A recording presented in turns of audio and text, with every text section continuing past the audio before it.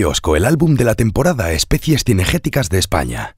Un álbum con el que los más pequeños de la casa aprenderán jugando a reconocer todas las especies cinegéticas españolas, sus principales características, modalidades y vedas. Ve a tu kiosco y llévate con tu revista Trofeo Caza de octubre el álbum Especies Cinegéticas de España, más la primera lámina con ocho pegatinas y disfruta compartiendo tu afición en familia. Trofeo Caza, con la renovación generacional de la caza. Fuxiberia, collares electrónicos para perros de caza. En Requejada, Parcela 11, Polanco, Cantabria. Teléfono 607-576-592. Fuxiberia, collares electrónicos para perros de caza y electrónica para tus mascotas.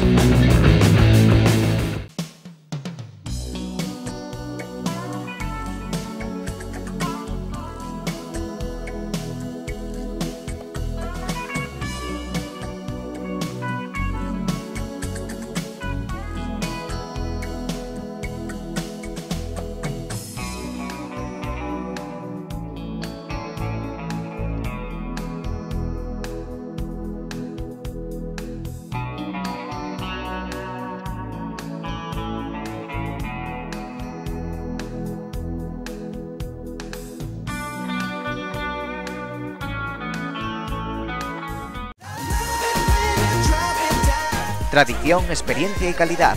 Seleccionamos los mejores pescados del Cantábrico. Por eso en Pescadería Jaime Cacho, el cliente siempre está satisfecho. Disfruta de pescados y mariscos frescos.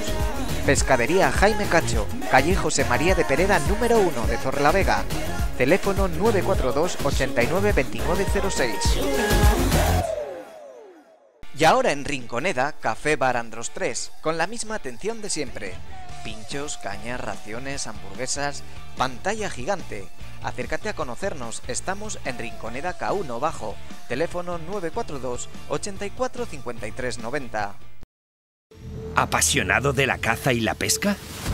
Disfruta todos los días de tu afición favorita con Iberalia Go donde encontrarás 1500 documentales de todas las modalidades, especies y rincones del mundo.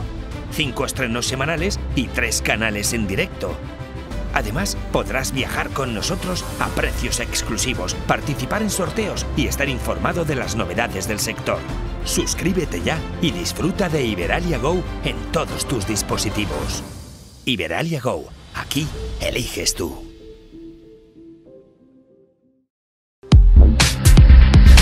Restaurante Yanda, en Tagle, Suances, carretera general número 7. Cocina casera, raciones, picoteo. Ven a degustar nuestros deliciosos callos caseros y menú del día. Disfruta de los diferentes ambientes y nuestra amplia terraza. Comidas para grupos, fiestas y celebraciones. Restaurante Yanda, en la carretera general número 7, Santillana, Suances, en Tagle. Teléfono 942 810426.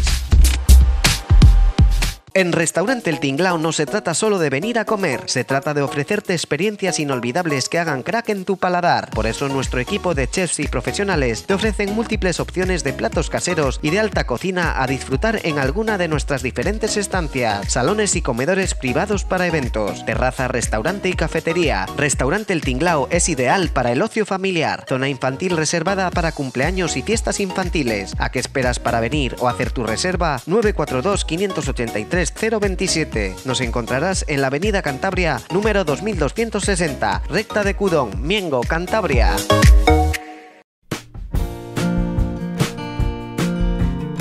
Carnicería Tito, calle 3 de noviembre número 2, Santander, teléfono 942 37 49 25.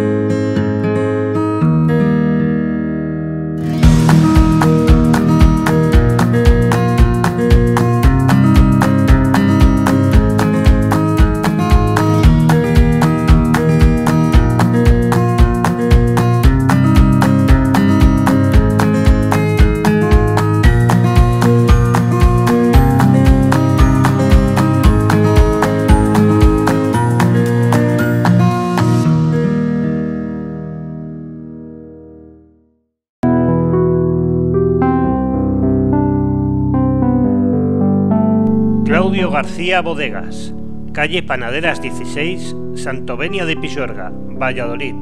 Le atendemos en los teléfonos 983-841-789 y el 635-659-919. Claudio García Bodegas.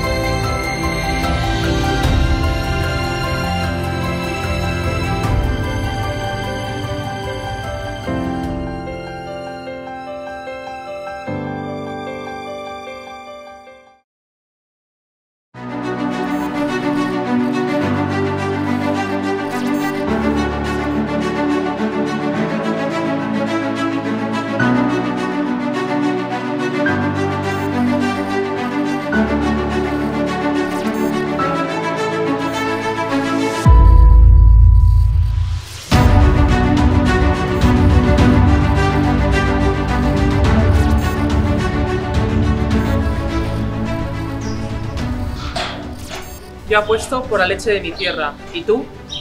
En Cantabria más de mil ganaderos trabajan para que sus vacas produzcan auténtica leche de nuestra tierra. Defendamos un precio justo. Federación Cántabra de Caza, calle Castilla número 17, Santander. Fedérate 942 03 2070.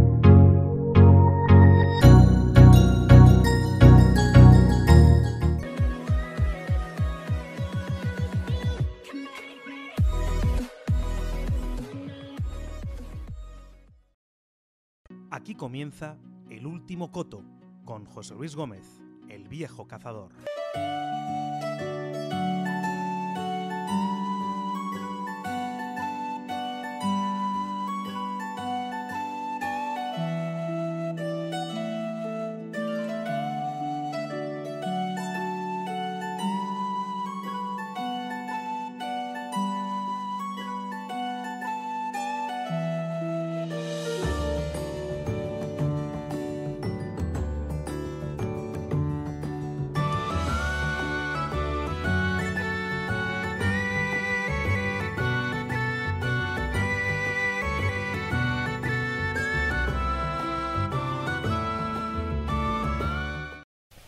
Muy buenas, amigas y amigos del Último Coto.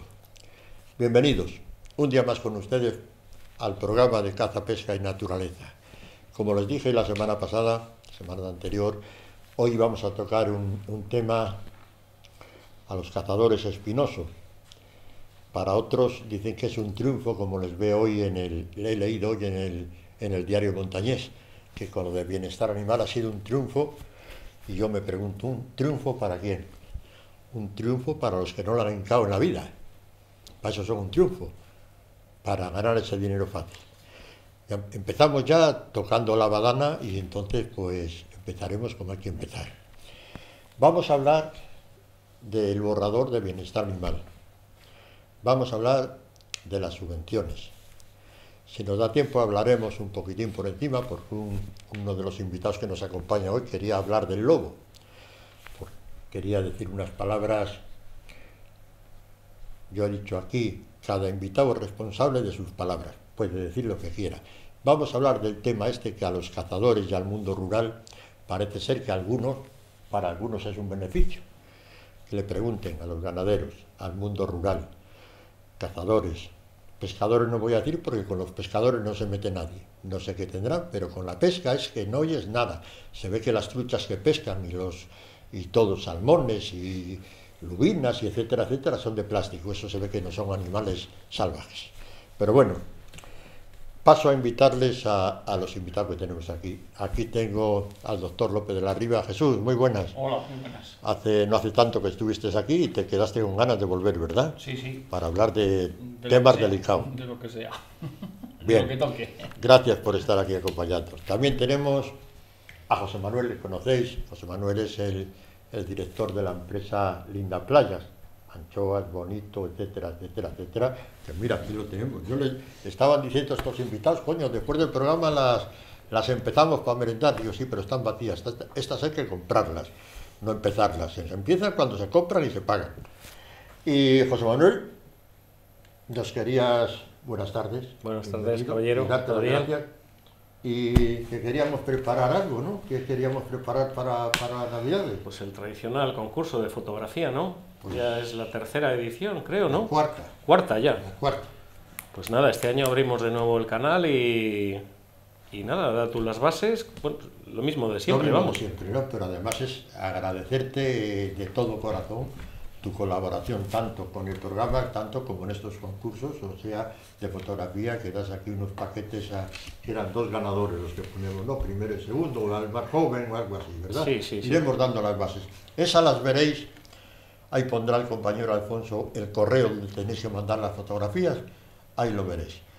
Y pues como siempre, José Manuel, agradecerte tu colaboración con el, con el programa con Linda Playa. Eh, aquí, las, aquí las tenéis. El teléfono lo veis ahí siempre en, el- en el- la publicidad que ponemos, que este hombre nada más es llamar al teléfono que pone ahí y sirve las anchoas a, donde la queráis, a cualquier parte del mundo y aquí a, cu- a cualquier pueblo, ¿no es así, José Manuel? Sí, sí, cualquier parte del mundo. Sí, de hecho, en el anuncio que tenemos aquí, en Megavisión, pues aparece lo de la página online, ¿no? La Que página tú das el clic clic y ya está, no, no se cobran portes de envío ni nada y Cualquiera que te diga, oye, es que soy de, de Torrelavega, quería un, un pack de esto, un- claro, no te- que no te pidan una lata solo, porque joder, bueno, pero eh, bueno, eh, no, no, no hay una cantidad, específica, ¿no? no, tú te metes y ahí te aparece. pero que lo mandas, ¿verdad? Sí, sí, sí, sí. Bien. Mandamos a todos los puntos de España y a muchos del mundo, ¿eh? No... Ya, ya lo sé, la última ha sido Italia, parece Sí, ser, ¿no? sí, Que has sí, sí. estado por ahí Sí, de viaje. sí. Pues nada, José Manuel, agradecerte lo del concurso otra vez fotográfico, no se os olvide, podéis ya desde mañana empezar a mandar las fotografías, ¿eh? Y también nos acompaña José Manuel Romero. José Manuel, buenas tardes. Hola, buenas tardes. Agradecerte un día más que estés con nosotros. José Manuel Romero posiblemente sea uno de los que más saben o el que más saben de las especies silvestres de, de aquí, de Cantabria, y no de Cantabria, pero en Cantabria seguro. No solamente en aves, también en, en mamíferos. Es un hombre que ha escrito este libro, que ya hace tiempo que le escribió, tiempo relativamente, que yo digo que todo el que le guste todo el mundo natural, el mundo de las aves, no le deje de comprar, no le deje de comprar porque esto es, esto es, esto es espectacular. Eh, Con decirle que le ha llevado pues toda su vida, con eso aquí tenemos infinidad de imágenes, pero cualquiera que esté interesado en hacerse con el libro, pues, pues simplemente que me llame a mí o se ponga en contacto conmigo en la televisión, que os la hacemos llegar, porque es espectacular. ¿Alguna cosa más, José Manuel? No, que muchas gracias por invitarme de nuevo y por estar con Hombre, vosotros es que yo y colaborar ojalá- con el programa. Ojalá pudiéramos haber hecho una mesa redonda y con invitados y todo, pero hay que agradecer, desde aquí quiero agradecer a un buen amigo, a Modesto Martín de Puente San Miguel, que quería estar, quería estar para debatir estos temas, pero Modesto, eh, hay que ser todavía responsable, no hay que decir abrir la cartera y para adentro, no. El COVID le tenemos ahí y todavía hay que ser responsable. Entonces no vamos a meter ahora aquí a 30 o 40 personas porque es un problema. Eh, hemos metido, ya sabéis que siempre me gusta meter dos invitados, pero eh, hoy estamos los cuatro porque bueno, el tema es, complicado, complicado y in- interesantísimo porque a la caza y al mundo rural no las y no las van a dar, ¿eh? no las van a dar si no ponemos de acuerdo, no nos ponemos, no nos ponemos todos de acuerdo desde las altas esferas. Pero como digo, ahora ya anunciada, todos habéis visto, para la primavera una gran manifestación en Madrid. Y yo diría, ¿y por qué se espera la primavera? ¿Por qué no se hace esa manifestación la semana que viene o la otra? ¿Y por qué en Madrid? ¿Por qué en cada comunidad que será más cómoda para todos no la hacemos cada uno en nuestra comunidad la manifestación en contra de todo esto? Que se puede hacer en Madrid como se hizo hace unos años, ¿no? Pero yo creo que también nos gustaría ver dentro de, de nuestra propia comunidad cuántos iban y cuántos no. Y sería más fácil contabilizar seguramente los que nos manifestamos en contra de todo esto. Pero vuelvo a decir, ¿por qué esperar a la primavera? Se podía hacer la semana que viene o el mes que viene. Porque las cosas cuando se dejan, pues parece que después queda ahí cierto desasosiego. Pero bueno, vamos a hablar del tema que nos trae. Jesús, ¿qué te parece el borrador este de bienestar animal? Pues ahora mismo le estoy leyendo porque no he tenido la opción de, de ver más que esto que, que me has entregado tú y las cosas que están en las redes sociales. Eso Con lo que hay que tener un poco cuidado de donde hay exageración y donde no. Pero desde luego, desde luego, lo que aquí proponen, lo que parece que proponen, que es el sacrificio cero, que- con el que estamos de acuerdo, es una cosa prácticamente real, por lo menos entre los cazadores. Los cazadores, cuando tienen una camada de perros, los venden o los regalan. Lo tengo clarísimo, no hay sacrificio de, animales en, en el mundo de la, de la caza, o por lo menos en lo que yo conozco, que siempre el conocimiento relativo. Y en cuanto a las demás em, cosas que ponen es pura demagogia, es una cosa, eh, por ejemplo, para criar una camada de una perra excelente que tienes de caza, dice que, que habrá, regularán muy estrictamente la cría para tener un sacrificio cero. Tú que te vas a molestar en, cruzar tu perra, en, en tener cachorros, ¿qué va a ser esa regulación muy estricta? ¿Qué va a, qué determinar que sea muy estricta? ¿Quién lo va a, decidir? ¿Eh? Esta es una ley eh, yo creo que más, bien estúpida eh, y, muy tendenciosa y hecha contra los cazadores, claramente, porque por lo que he leído, ¿eh?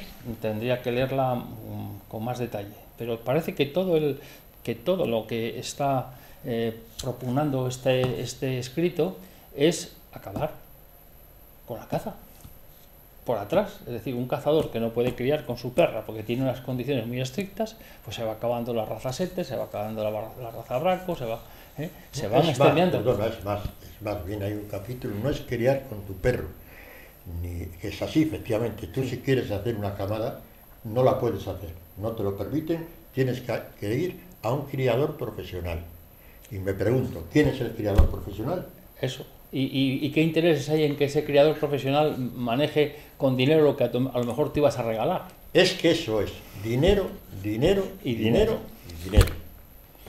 Y dinero. y no es criadores profesionales, porque es que después va a haber, ahora vamos a ver unas imágenes a los que tenemos perros, los que tenemos que hacer. Alfonso, prepara esa imagen que tenemos ahí, que tenemos que, mira, tenemos que ir a un cursillo donde nos darán un carnet. Yo Mira, no digo una barbaridad por, respeto por respeto a vosotros, no, a, los, a, los, que han hecho esta ley. A esta ley no les diría una barbaridad, haría una barbaridad, que es diferente.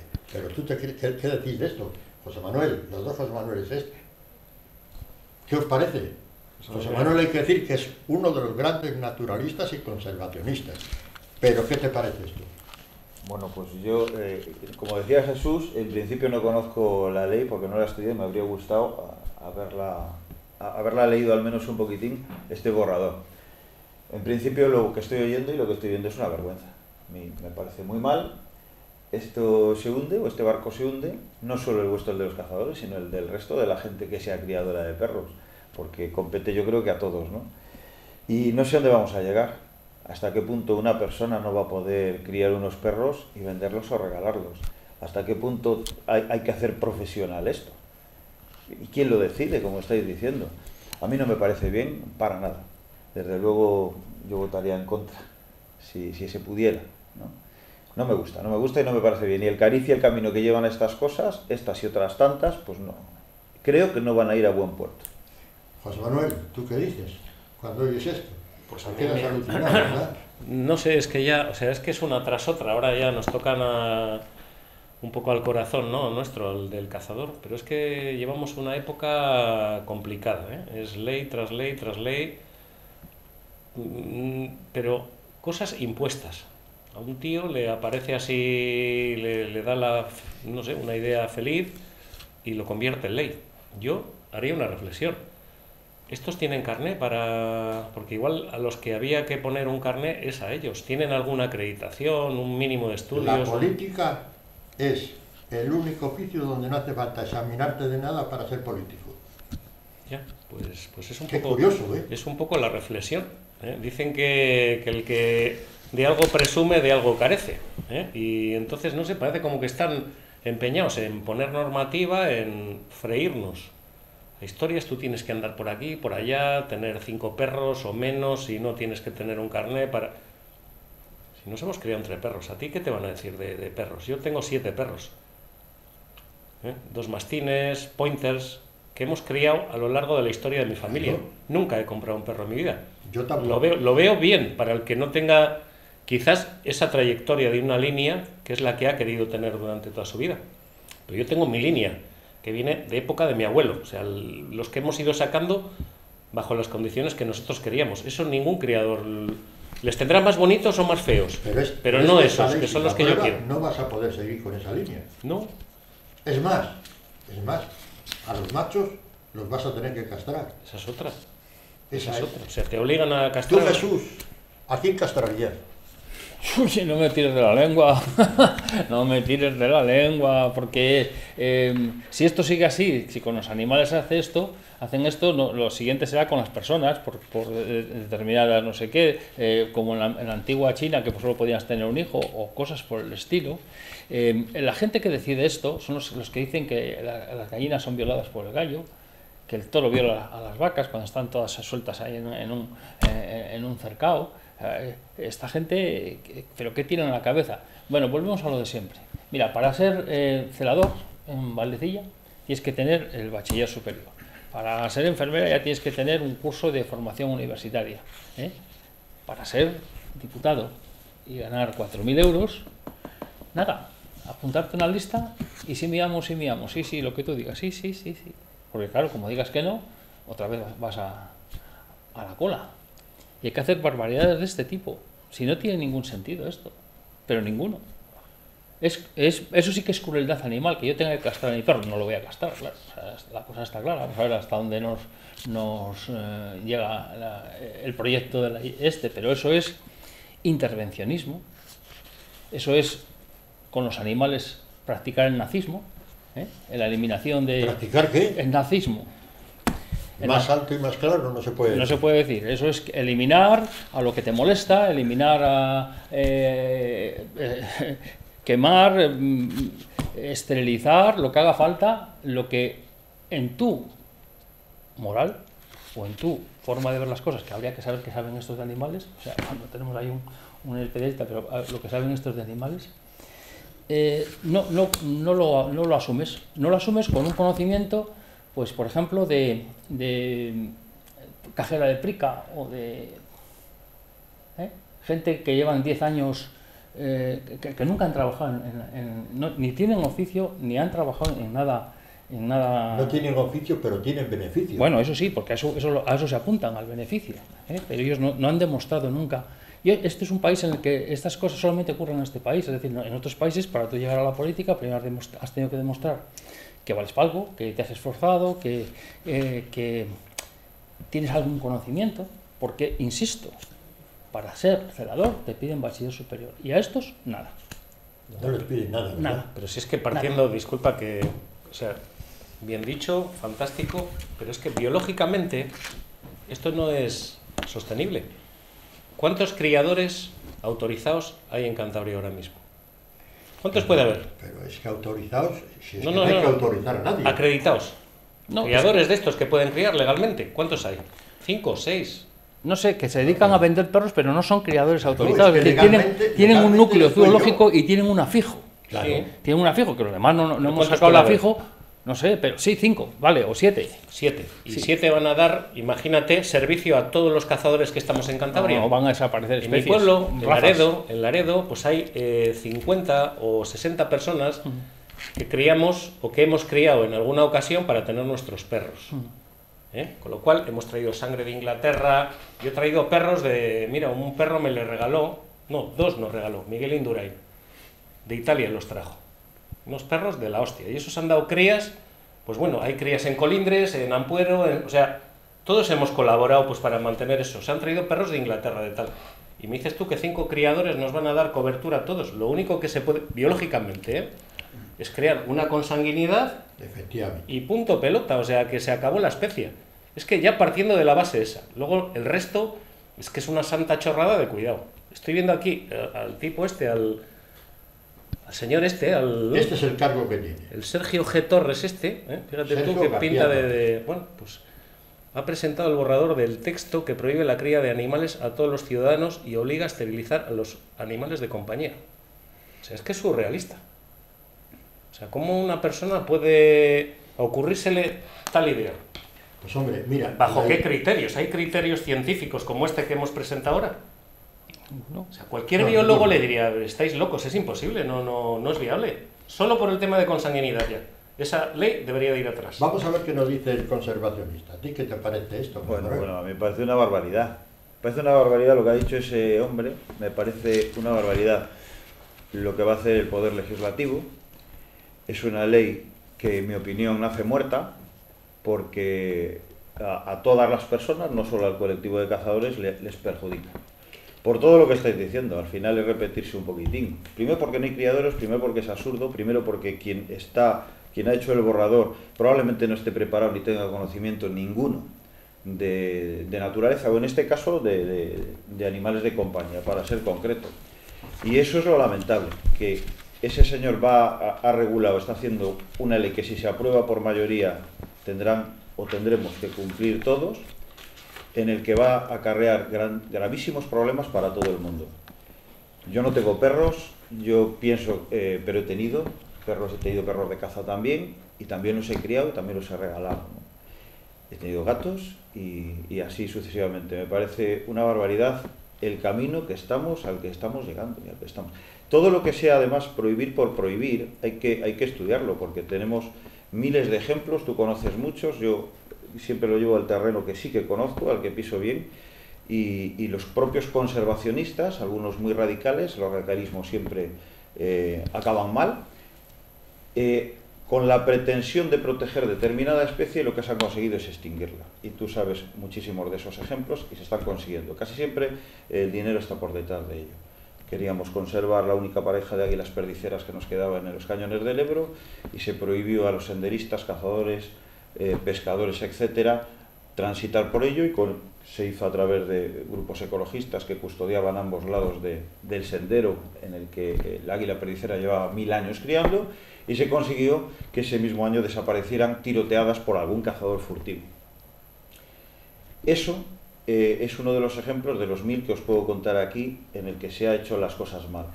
El que legisla tiene que saber más que el resto, o debiera, y debiera de tener algún tipo de conocimiento o alguna carrera, o al menos algún estudio para que lo que nos tenemos que ceñir, el resto, pues sea coherente. Esta ley es incoherente totalmente. Pero, y ahora yo me pregunto, ¿qué hemos hecho los cazadores para merecer esto? Jesús. Pues eh, lo mismo que han hecho los, los, los taurinos, eh, es el odio de determinadas. Yo no, a mí no me gustan los toros, vamos a ver, a mí sí me gusta eh, una, corre, dos, un, una de rejoneo, pero no entera, ¿eh? una o, dos eh, faenas, no, no, más no, porque me gusta el caballo y, me gusta me gusta mucho el caballo. La, el hecho de que yo no voy a los toros, pero a mí no me parece mal que haya gente que le gusten los toros. Me parece estupendamente bien que es, es una costumbre nuestra, es, es, nuestra fauna, es nuestras especies que se han, que se han preparado para hacer esa, la tauromaquia. Y aquí hay gente que se quiere cargar cualquier, cualquier tradición o costumbre. Cualquiera. Yo no voy a ver el toro de la Vega. Ni, ni entro ni salgo, no, no me interesa Claro. Tampoco me, me pongo una, parcanti, una pancartita por ahí que quiten el toro de la Vega. No tengo nada contra ciertas costumbres, ciertas aficiones, pero si os vais fijando, eh, nos van quitando todas aquellas tradiciones o costumbres que están arraigadas en el pueblo. Yo no sé si es para que solo vayamos al corte inglés y a Prica y a no sé qué a gastar, porque claro, no puedes hacer absolutamente nada que no sea esa. Ahora empiezan con esto y no penséis que no va el año que viene que las setas y el año siguiente eh, pues lo que se les ocurra, las palomas mensajeras. No va a ser eh, una excepción. Ahora eh, protegen al lobo. Protegen al lobo de una forma que, eh, porque Mira, sí, podría ser... escu- Escucha, Fonso, ponnos, ponnos ese, ese, ese tema del lobo que, te- que teníamos por ahí puesto. Esto- Aquí no hay mentira. Animalistas proponen capturar lobos y esterilizarlos para controlar sus poblaciones. José Manuel Romero, tú Bueno, sabes bueno, algo bueno. del lobo. Ahí, ahí me estás, me estás tocando, me estás tocando la, la- la fibra. Qué No decir tocándote los cataplines. No, porque pre- pretendo ser educado. Eh, esto es una aberración, es una barbaridad. Ya, ya sabes la opinión que yo tengo acerca del lobo, pero no obstante, si alguien no la sabe porque no vio el programa en el que hablamos un poquitín de él, la vuelvo a comentar. Yo creo que no se debe proteger el lobo. El lobo ha de considerarse especie cinegética. Yo soy el primer defensor del lobo. De hecho, entre los mamíferos es mi number one, mi número uno. Yo le quiero con locura. Deberíamos aprender muchísimo de la biología de él. Pero lobo no se puede proteger, no se puede proteger a ultraza, no puede entrar en, en- en- en el consejo, en la regulación de todas las especies catalogadas en peligro, en peligro de extinción, por, por muchas sencillas razones, porque es muy pintoresca. ¿Y en qué es pintoresco el lobo? Bueno, pues mira, el lobo está sumamente inteligente porque el cerebro es tan grande como el nuestro y es tan sumamente inteligente que cuando, por ejemplo, voy a resumirlo mucho, por, ejemplo, cuando un lobo mata ganado hay que eliminar. No nos queda otra, porque sí es cierto que transmite por aprendizaje esa secuencia de caza o esa se- secuencia de que es más fácil matar las ovejas o el ganado doméstico, lo transmitirá a sus descendientes, a sus hijos. Como también es cierto que si eliminamos ese ejemplar, si le cazamos ese ejemplar, eso también lo entienden el resto y se evita, y se evita que haya estas matanzas entre los ganaderos. Esa es una de las razones. Yo creo que como estaba el, lobo en, en, Cantabria, como especie cinegética, lo que hay es que ordenarla o regularla cómo se ha de cazar. Desde luego lo primero que se ha de cazar es cuando el lobo cause daños. Cuando un lobo causa daños, ese ejemplar hay que extraerle, hay que extraerle del medio. No se le puede proteger por un sinfín de razones. Sí es cierto que la población de lobos ha crecido, pero no como dice tanta gente, ni mucho menos. Yo que eh, me presumo un poquitín de ser conocedor de las que yo considero 20 manadas que hay en la región, la, administración dice unas 13, yo creo que hay alguna más, pero eso no es cierto, porque lo que estoy diciendo ahora, dentro de un día, eh, se ha modificado. Y con esto quiere decir que las 20 manadas que yo he conocido históricamente, porque los territorios siempre son los mismos, históricos, y ellos se vuelven, una vez si se eliminan esas manadas, eso se vuelven a recuperar con las que pueda haber por ahí, si es que las hubiere. Eh, sí es cierto que hay manadas que se erradican de golpe. Ahora mismo teníamos varias en Valderredible y ahora mismo hay eliminadas dos de forma radical, en el que no pasa ningún ejemplar ni divagante, porque en el momento que entra y en el momento que ven sus huellas, o sobre todo sus excrementos, que es lo inconfundible, pues se le elimina. Sin embargo, sí es cierto que hay alguna más que se ha acercado aquí a la costa y las tenemos casi en Torrelavega y sin casi, que, por aquí andan. No es algo eh, extraordinario, sino que siempre lo hubo. Es algo que ahora parece que vemos más, pero yo desde, muy joven, desde niño, ya conocía esa manada que andaba por, por este extrarradio. Quiero decirte que el tema del lobo, podríamos hablar, ya sabes, una tertulia completa, creo que se debiera considerar como ya estaba, especie cinegética, hay que estudiar cada manada, cada grupo, si las manadas se desgobiernan y se eliminan, cuando queda un lobo, lo que llaman eso de lobos solitarios, es cierto, esos lobos no tienen ya nada que perder, no tienen manadas estructuradas y lo que van haciendo es matando todo lo que van viendo y es cuando podemos ver algún lobo en Mijares o en las zonas de la playa como así así, por ejemplo. José Manuel, tú eres, te, gustan mucho los recechos, hmm. eres ingeniero del monte, el monte le conoces perfectamente también. Eh, ¿Qué tienes que decir de esto del lobo? Pues yo añadir un poco lo que está diciendo José Manuel. Voy a poner ya el punto sobre la I. Y es que curiosamente este verano he visto varios accidentes de tráfico en pueblecitos de allí, de la zona palentina, que sabes que me muevo mucho por el cerrato, dentro del propio casco urbano. Lo cual pues eh, empieza a ser un poco preocupante pues por un motivo. Y es que, a ver, en la ciudad es poco común que, que los chavalitos y tal pues transite en la calle pues durante la noche y demás, pero en pueblecitos de estos cualquier día vamos a tener un disgusto, ¿eh? Y si no, tiempo al tiempo, ¿eh? O sea... ¿Tienes un accidente entre un niño y un lobo? Sí. Yo creo que eso es muy difícil. Pues... O entre un jabalí y un niño. una jabalina con crías, un niño. pero el lobo es dificilísimo que ataque a una persona. Pues no lo sé, pero no sé. Yo creo que están muy, muy, muy cerca ya a ver, perros, gatos y demás, eso es común, ¿eh? O sea, mascotas. no, no, en el, caso de lobo, no. En el caso de perros asilvestrados, perros loberos, es, no solo es probable, sino que ha sucedido. En el caso del lobo, eh, no hay constancia en nuestro país, solo hay una constancia de un muchacho que tiene la misma edad que yo, gallego, que esté documentado, ¿eh? de ataque de un lobo a una persona. En este caso concreto es una loba, lo podéis ver en un documental de la BBC, en el que ese niño, cuando, estaba, cuando era un bebé, estaba en el camasto y su madre estaba en Galicia eh, recogiendo las patatas, vino una loba que, estaba parida y cogió el niño del capazo y le arrastró. La madre pegó las voces y le soltó. Ese, en el documental le veréis con veintitantos años o treinta y tantos años si le veis y tiene las marcas de los colmillos en la pierna. Ese es el único caso que existe documentado de, de ataques de lobo a España. En nuestros lobos son diferentes al resto de los lobos. De hecho, es, muy importante la raza porque el lobo ibérico es, un endemismo ibérico. Las razas de lobos hay muchas, todas son canis lupus, pero la nuestra canis lupus ignatus, por la señal que tiene las patas, que solo la tienen un poco marcada los lobos itálicos, los lobos de Italia, son lobos muy pequeñitos y son lobos prácticamente incapaces de, atacar a una persona, lo cual no hay, aquí no hay nada imposible, pero sería difícil. Lo que sí es más fácil es, como decía Jesús, los ataques de jabalís a personas. Es normal. Eh, yo en mi caso, por ejemplo, que yo medio vivo en el monte, eh, sí que he tenido dos ataques, por ejemplo, dos ataques en concreto de perros. En una ocasión, esta sí que es muy, muy curiosa, os la voy a comentar, porque en una ocasión sucedió en Ucieda, ya hace muchos años, y no obstante está documentado porque salió una noticia después en el diario Montañés, en el periódico, íbamos un grupo de cuatro personas subiendo hacia, hacia la ermita del Moral, y vimos lo que yo había visto en las películas, que era un grupo de un grupo no, una pareja de dos lobos cómo intentaban atacar los potros de una manada de caballos. Las yeguas pusieron, hicieron el círculo que todos hemos escuchado o leído en alguna ocasión y a patada limpia estaban con lo que los cuatro creímos que eran lobos. Ellos, los lobos que no podían hacerse cargo de los potritos, nos vieron a nosotros y decidieron venir hacia nosotros. La verdad es que, gracias a Dios, la cercanía del coche no era mucha y pudimos salvar el pellejo cuando vimos que a dos metros estaban los lobos rabiosos perdidos, que no eran lobos, sino eran perros. Perros clavados a los lobos. Ya habéis visto a los perros lobos checoslovacos que son exactamente iguales a los lobos. Estos eran de aquí, no eran checoslovacos, era un macho y una hembra, la hembra estaba parida y estaban buscando comida por donde fuera. Y lo intentaron con los potros, no lo consiguieron, nos vieron a nosotros. Fíjate hasta qué punto que nosotros íbamos a merendar y llevamos los bocadillos envueltos en albal. Pues a trozos, dándoles con el propio albal, lo comían. Estaban totalmente rabiosos, llenos de garrapatas, esqueléticos. Y nosotros así conseguimos, porque por la cercanía del coche, meternos al coche.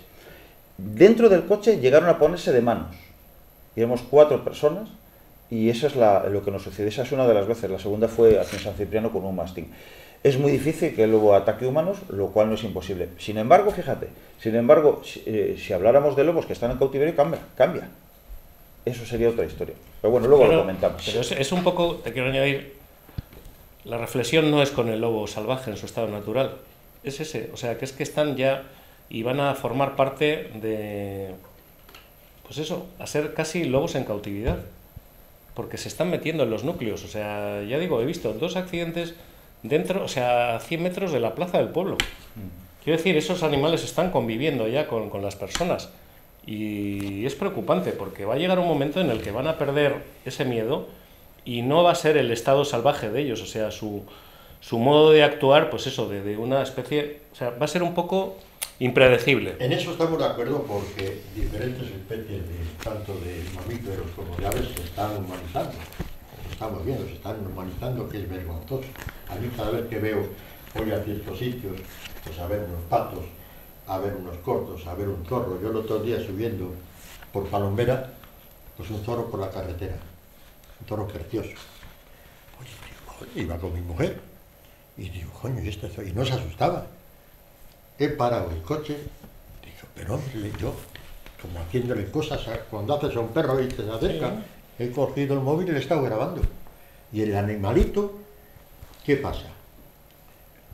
Eh, en todas las partes, tú vas a los picos de Europa, tú que lo conoces bien, José, a la montaña palentina, etcétera, etcétera, la gente va por ahí y venga a dejar pan y eh, ven, ven, unos cuervos, les tapan las, las grajillas, la, la, la, las rojas y igualdas que se vienen a comer a la mano. Eh, los zorros prácticamente también, diferentes especies. Estamos humanizando. Vas al Parque de las Llamas de Santander, el famoso Parque de las Llamas, que un día voy a hablar de ello, porque con todo lo bonito que parece, yo para mí eso ha sido, eso ha sido un, a mí la verdad nunca me ha gustado lo que se ha hecho, porque tú vas a ver allí a unos animales y los animales vienen a ti. Son ánades silvestres y de pochas, etcétera, etcétera, y vienen a que les des de comer. Llegará un día que no les den de comer y no saben alimentarse, se morirán.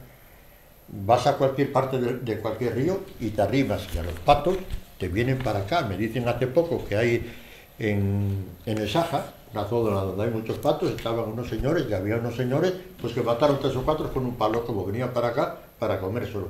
Cuatro personas que parecen ser que no eran, no eran españoles. La verdad es que si era para, para quitar el hambre que tenían, pues bienvenido, ¿no? Pero que no se convierta en una costumbre. Aquí vas al, río Besaya, ya hay los salmones que están subiendo la presa esa, ves, ves yo lo he visto y lo denuncié, con unas redes echándolos para coger los salmones cuando están subiendo. Y delfines, delfines que están entrando en Santoña, en Laredo, la gente jugando con ellos. Pues un delfín, eh, al final, ¿sabes qué decían? No, no se acerquen porque el animal va a jugar y es un animal salvaje. Claro. O sea, al final te puede dar un disgusto. A un tío que estaba buceando le cogió, le metió hasta abajo del todo. Y no lo Voluntaria o involuntariamente, pues te puede provocar un problema. Ahora creo que hay una foca en el estuario de la Son pues igual, las foquitas pues tienen sus colmillos y su... Quiero decir que con todo eso hay que tener cuidado. Los animales en estado salvaje pues eh, son hay predecibles. Que tratar, hay que tratar De, no humanizarlos lo menos posible. Yo estoy canso que nadie les eche de comer, nadie les dé nada de nada, que trates de verles, pero y al poder ser, espántalos. Mm. Espántalos, que te cojan, que no se arrimen al ser humano.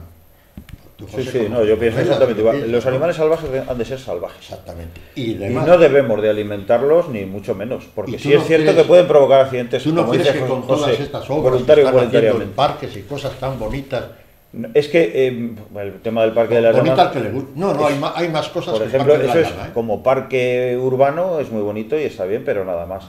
Eh, allí salió un artículo de quien realizó la evaluación de impacto ambiental de, de ese parque para que se aprobara y se hiciera esa obra una barbaridad, pues eso era un, acuífero precioso salvaje en el que entraba muchísima fauna y el, agua era corriente, el agua era muy pura, ahora está eutrofizada totalmente, o sea, muerta y bueno, resultó que sacaron el listado del número de especies que había allí, bueno, resulta que había más que toda Cantabria. Y joder, al final va a haber águilas reales y urogallos ahí en el parque. Aproximadamente 164 especies. Una barbaridad, es una aberración y bueno, para el que no entiende, para el que no sabe, dice, pues qué obra más bonita, cuando todos vimos pues los caminos de hormigón o lo que se ha vertido allí de hormigón. Como parque urbano, inmejorable. Efectivamente. Como parque natural, eso es una aberración. Por muy que los conservadores, en este caso, que fueron los que hicieron la evaluación, eh, la firmara. La firmara pues para... Vamos a seguir un poquitín otra vez con... yo, solo una cosa más del lobo y pasamos a lo que estábamos, porque nos hemos ido del, asunto. ¿No, es, ¿No hay suficiente con dejar al lobo en el Parque Saja y en, Picos de Europa? ¿No, ¿No cazarlos ahí? ¿Y fuera? Yo ahí tampoco estoy de acuerdo, Jesús, yo ahí tampoco estoy de acuerdo. El lobo, Félix Rodríguez de la Fuente decía que el lobo ha de estar donde tenga que estar y en eso sí estoy de acuerdo. Pero no en Picor de Europa, ni en, ni en donde dices, ni en Saja Besaya. Hay más sitios en Cantabria donde el lobo ha de estar, de hecho es donde está. Ahora mismo hay un par de parejas y límites en Burgos, por ejemplo, hay, en el límite con Burgos hay varios. Nuestros lobos, el 90% están en el límite de las tres provincias, de León, de Palencia y de Burgos. Están ahí por una sencilla razón, porque son las zonas más despobladas de, de todas las regiones. Es toda la cordillera en ese cordal desde los Montes Vascos hasta Galicia, ahí está toda la población lobera española. Y es bastante, pero ha de estar en, la zona oriental, ha de estar, entre otras cosas, porque siempre estuvo. Lo que no ha de estar es aquí, por, ese tema de provocación de accidentes, pero ya no por el lobo o accidente de tráfico, sino porque eh, en realidad quien más provoca accidentes son otros animales, como ya sabemos, como por ejemplo el jabalí. Si hubiera algún lobo más, seguramente que esto no sucedería, el tema de accidentes de tal. Pero sí que hay algún lugar en el que podemos tenerles de más, ¿no? En el Parque Natural de los Collados de la Son, por ejemplo, que hace sus pinitos y sus entradas, hay una pareja ahí. Sí que hay algunos lugares, pero hay en otros en los que no puede estar. No podemos permitir que entre, por ejemplo, a Peñacabarga, para evitar a lo mejor algún accidente o un susto. Yo no considero que ataquen, pero en penagos, que están, hay lobos en penagos. O hay acceso. También es cierto, Jesús, que también. Eh, eh, y esos no, se suben, no se suben hasta Soba a dormir o a vegetar. No. Y los que están aquí en Mijares y por estos alrededores tampoco. Y los que están matando las vacas en cos o, eh, las ovejas, pues el límite de, la reserva está aquí en la carretera pero las están matando aquí. Luego, cuando el lobo está aquí para allá, pues eh, que se lo aguante la administración. Cuando están de la carretera para acá, se convierte en especie cinegética eh, que se elimina. No, no eliminarlos todos, que no, que no, que eso nomás no ocurre. Se quedan todos los que están adentro. Se eliminan los que están haciendo daño y se pagan adecuadamente, rápido y sin andar con marrullerías eh, legales los daños. Y da lo mismo, que sea un lobo, que sea un perro asilvestrado, porque eh, en ese de que es un perro asilvestrado se mete en el, cajón de no pagar. Se va siempre al de no pagar a, la gente a la que se haya perjudicado. Usted quiere dentro de la reserva Saja tener eh, lobos, quiere tener, le matan los corzos, le hacen... Es, su problema. Ahora, si sale el, el, corzo de la reserva y mata a una oveja, usted la paga adecuadamente y rápido. No dentro de cinco años, que ya no es el, Debiera, debiera de ser así, no, no sucede así. No se paga bien y rápido. De hecho, el más perjudicado siempre es el mismo, que es el ganadero. Lo que pasa es que de ello habría muchísimo que hablar, porque también los ganaderos son pintorescos en el sentido de que tampoco toman las medidas adecuadas para proteger sus ganados. ¿No pensáis también una cosa? Yo muchas veces hago una reflexión y pienso, todo lo que se está hablando del lobo, porque se está hablando del lobo, lo que quieras, algo más, aquí todo el mundo sabe del lobo, todo el mundo opina, todo el mundo sabe los lobos que hay, hasta saben machos y hembras, pero si lo que hace son soluciones, soluciones para los ganaderos. Pero las soluciones eran claras y si ha funcionado. Tú vete a la Sierra de la Culebra y les preguntas a aquellos, a los guardas y a todo el entorno, a ver si estaban encantados con que hubiera lobo y con el aprovechamiento del lobo. ¿Eh? Claro. Un lobo se ha llegado a pagar eh, 24.000 euros en una subasta allí y aquella pasta se quedaba allí. Y si daban 10 lobos, pues eh, multiplica por 10. Efectivamente. Y resulta que es, eh, corrígeme si no, una de las mayores poblaciones de Europa. De Sí, lobos. sí, lo es. ¿No? De la o, la más. En Zamora. Es una de las más bollantes. Y es donde más caña le han metido. No sé Y cuántas. se pobl- caza y se caza, sí, sí. Sí, de pero- hecho, vive muchísima gente de- del tema del lobo, ya no solo cazadores, Sí, sí. está muy bien regulado en, en- esa Ahora resulta que van a hacer turismo de, de ir a ver al lobo, con Muchísimo. telescopios, hoteles, tal. O sea, te quiero decir, eh, eso es un negocio. En pueblos como Villar de Ciervos, que es la cabeza de allí, de comarca, que tiene 10 habitantes, que ahí no hay ni agricultura ni hay nada más. Pues hay venados y lobos, que coexisten bien, se han cazado los lobos, se aprovechan, tal, tal. Y es toda una cadena que funciona. Perfecto, que lo hagan en Polientes, sí. que lo hagan en, en- ¿Sabes qué pasó en África una vez? Dice, dice un refrán, no sé quién lo decía concretamente, pero un buen naturalista decía, protege una especie y acabarás con ella. Protegieron los elefantes. ¿Qué pasó? Que hubo furtivismo, no sé qué, tal cual. claro. Nadie se ocupaba de ellos, enfermedades eh, prácticamente extinto. Pero si aquí, José Manuel, van a morir más lobos ahora en cuanto estén Claro, protegidos. claro, que- volvieron a la caza del, elef- ele- del elefante, ¿qué pasa? Que allí había grandes reservas privadas. Oye, si un elefante cuesta 60.000 dólares, pues ya meteré yo 20 negritos de estos guardas concretamente allí, comederos, bla, bla, bla, bla, bla, bla, que van a reportar en beneficio del elefante. Y creo que en cuestión de 5 años eh, las poblaciones de elefante aumentaron como, vamos, como exponencialmente. Pero bueno, vamos y, a ver. y el último el- ejemplo que te voy a decir que pasó en España. En Gredos, la cabra hispánica casi desaparece por la epidemia de sarna. Y eso ocurre cuando cualquier especie animal ahí está su, eh, Superpoblada. superpoblada. Por encima de... Eh, Entonces se, se- se pegan las infecciones, es- hay, mm, se murieron una, una cantidad ingente de, de cabras hispánicas y las cuatro que quedaron volvieron a reproducir el, el- el- el entorno. Ahora ya las cazan, ahora ya las tienen controladas. Es decir, si aquí tiene que haber 100 cabras, hay 100 cabras, no 200.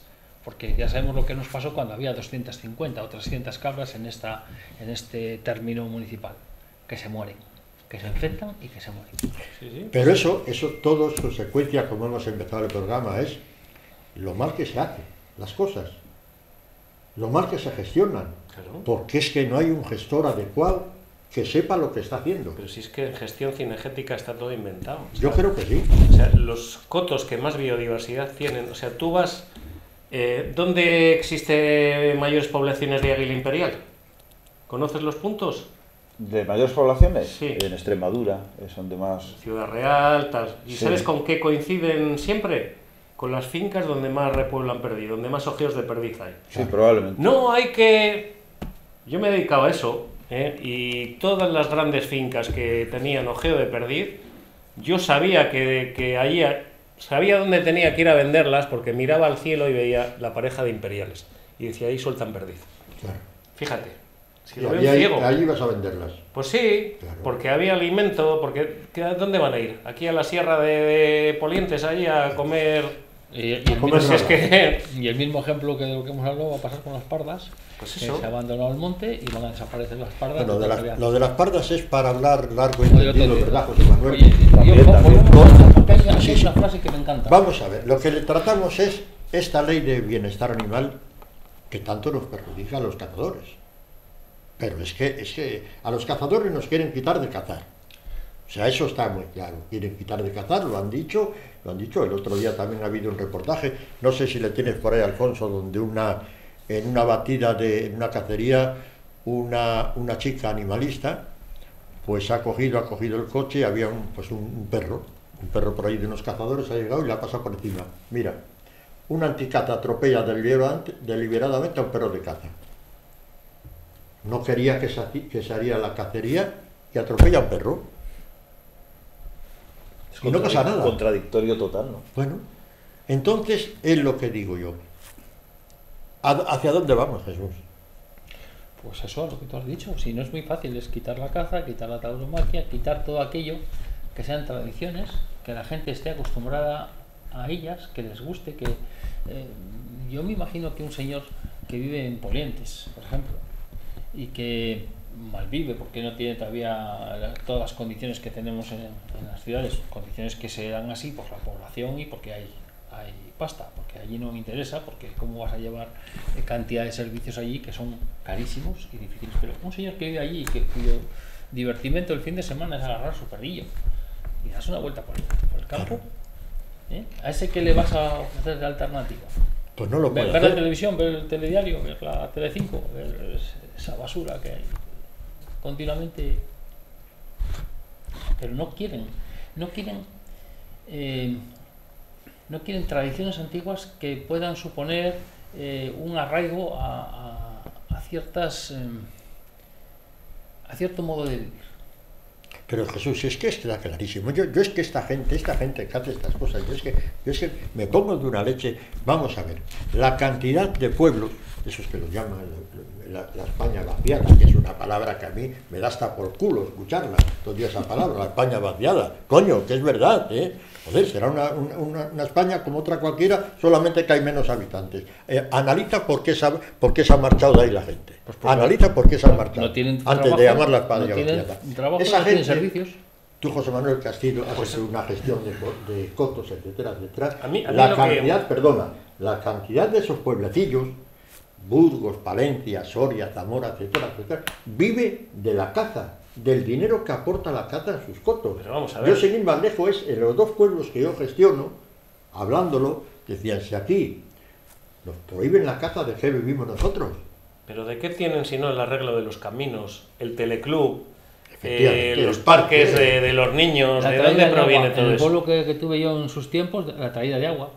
Sí. Pero esta gente... Todo, lo, todo lo que no te imagines. Y encima viene con dinero de gente que no pide una subvención, que lo único que quieren o queremos, porque somos gestores y cazadores, todos los que estamos aquí, ¿no? No, José Manuel no es cazador. Bueno, pues es igual. Pero, es, tiene no, la no, pero te entendí perfectamente. ¿Eh? O sea, no pedimos nada a nadie, simplemente pedimos que nos dejen gestionar, que nos dejen vivir y que nos dejen respirar. Pero es que todos estos otros siempre están con leyes, con normativas, con historias y con rollos patateros tirando con el dinero de los demás. Y asociaciones, y asociaciones, sí. con el dinero de los demás, como tú dices muy bien, de impuestos, sí. que les llegan por vía de subvenciones, asociaciones eh, determinadas sin ánimo de lucro, que viven. Por la filó. Eso. Mira, claro, yo viven de eso. estudié en la Escuela de Ingenieros de Montes de Palencia y, y, había mucho perroflauta de estos ahí, ¿sabes? De estos chavales urbanitas, pues que no... Bueno, pues que habían venido sobre todo de urbes y tal, y no, a mí es que estudio esto porque me gustan los animales, la naturaleza, etcétera. Subíamos a Fuentes Carrionas y tal, yo he sido cazador toda la vida, y recuerdo que hubo una época en la que se planteó el que se pagara una tasa por visitar pues Fuentes Carrionas o los parques nacionales, tal, ¿no?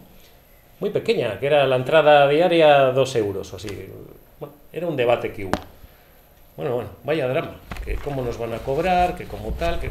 Digo, joder, pues oye, a los que vamos a cazar, yo voy a matar un corzo, y yo si voy con la administración, pues ya pago unas tasas que son establecidas bastante más elevadas que, que todo eso. Corzo de media con la administración, pues te puede costar 500 euros tranquilamente, sin ningún problema, vamos. Si es trofeo, pues está. No, no, es que eso es imposible, es que claro, es que estos son temas que son gratis y... O sea, ya es... ¿Sabes? O sea, todo es gratis, oye, ya, pero ahí hay unos servicios, hay una gente que está trabajando, unos celadores medioambientales, un, una economía que todo lo que no se autosustente, malo, no sostenible. Porque de algún lugar sale. De impuestos. Pues eso, ya, pero los impuestos van del dinero de los contribuyentes, tal. Y la caza, concretamente, que es una actividad que, que se autosustenta, y que reporta beneficios sociales, aparte de, de los que generamos allí, eh, económicos en el pueblo y demás, pues chico, como que todo el mundo está contrario a ello. Yo no sé si por ahí va el tema, por el tema de un poco celo económico. Hablando, hablando, un poquitín de los impuestos y de las subvenciones, tengo aquí la última noticia que me ha llegado hace unos días. Os vais a mear por la pata de abajo. Esto, esto para ti, José Manuel, tú eres el más indicado para hablarnos de esto. Yo sé un poco. Mirad, nuestro queridísimo y nunca suficiente valorado Ministerio para la Transición Ecológica y el Reto Demográfico, o sea, la señora Rivera, Es así, la señora Rivera. Ha dado una subvención de 728.945 euros a la Fundación Biodiversidad y la Sociedad Española de Ornitología. O sea, la SEO. 728.900 y pico euros y ahora viene lo gordo. ¿Para qué es eso? Para la recuperación de la zarceta pardilla. Para la recuperación de la zarceta pardilla. Conlleva a comprar terrenos, a comprar fincas, etcétera, etcétera. Será para hacer una serie de embalses naturales donde meter la zarceta pardilla. Y yo te digo una cosa, José Manuel, que de esto sabes tú más que yo. Yo también sé un poco. Cualquier especie de anátida, en este caso de patos, la recuperación de la pardilla, yo no sé las, que habrá, eso no lo sé, José Manuel lo dirá, pero cualquier especie de, de anátidas, las sueltas en la orilla del río Saja, en el pozo de Mijarojos, en el parque de Cabárceno, y ella sola se va a reproducir. No hace falta ni comprar fincas, ni comprar nada, de nada, de nada. ¿Cómo se llama esto? Y en el pantano libro que no se pueden cazar. También, también, no, no, Y, grande en cualquier sitio. Pero si es que aquí en el río Saja, de una pareja de patos mandarines que se, que se escaparon han llegado a criar. Porque la pareja la vio y está grabada en mis vídeos.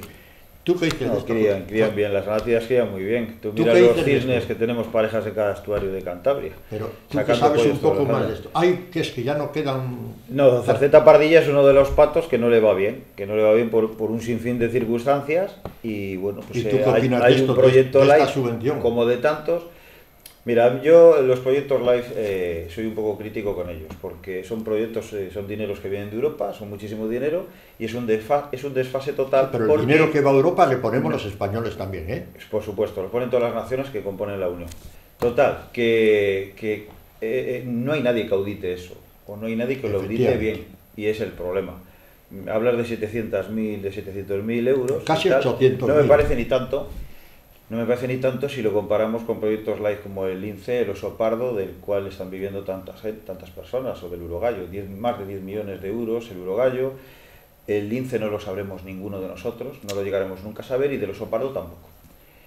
Un día cuando cites a alguno de los responsables de esas organizaciones no, no gubernamentales sin ánimo de lucro, esto yo lo digo un poquitín un poco entre comillas, porque eso de sin ánimo de lucro no, no, con, sueldos de 80.000 euros, con sueldos de 80.000 euros no hay ánimo de lucro ninguno. Por eso te digo que eh, esos presidentes, esos directores de esas de esas eh, fundaciones, etcétera, etcétera, eh, me gustaría saber pues cuánto, en qué se va el dinero, en qué se va ese dinero. Pero estamos hablando de muchos millones de euros que no sabemos el ciudadano dónde y dónde van y cómo paran y qué es lo que se aplica. Yo sí que conozco de primera mano algunos de esos proyectos live. El que mejor conozco es el del Urogallo, que tú lo sabes bien, y es el caos, el caos más absoluto. Eh, se, se, ha dado a muchísimas personas que no sabían lo que era un urogallo. Y pienso que así más o menos eh, ha sido en todo el resultado final es más dramático aún. es más dramático que el principio. Hemos gastado 10 millones de euros y hemos recuperado el urogallo. No, el urogallo hay cero. La recuperación del urogallo es cero. Mira, con 10 millones de euros habríamos comprado todos los urogallos de Rusia.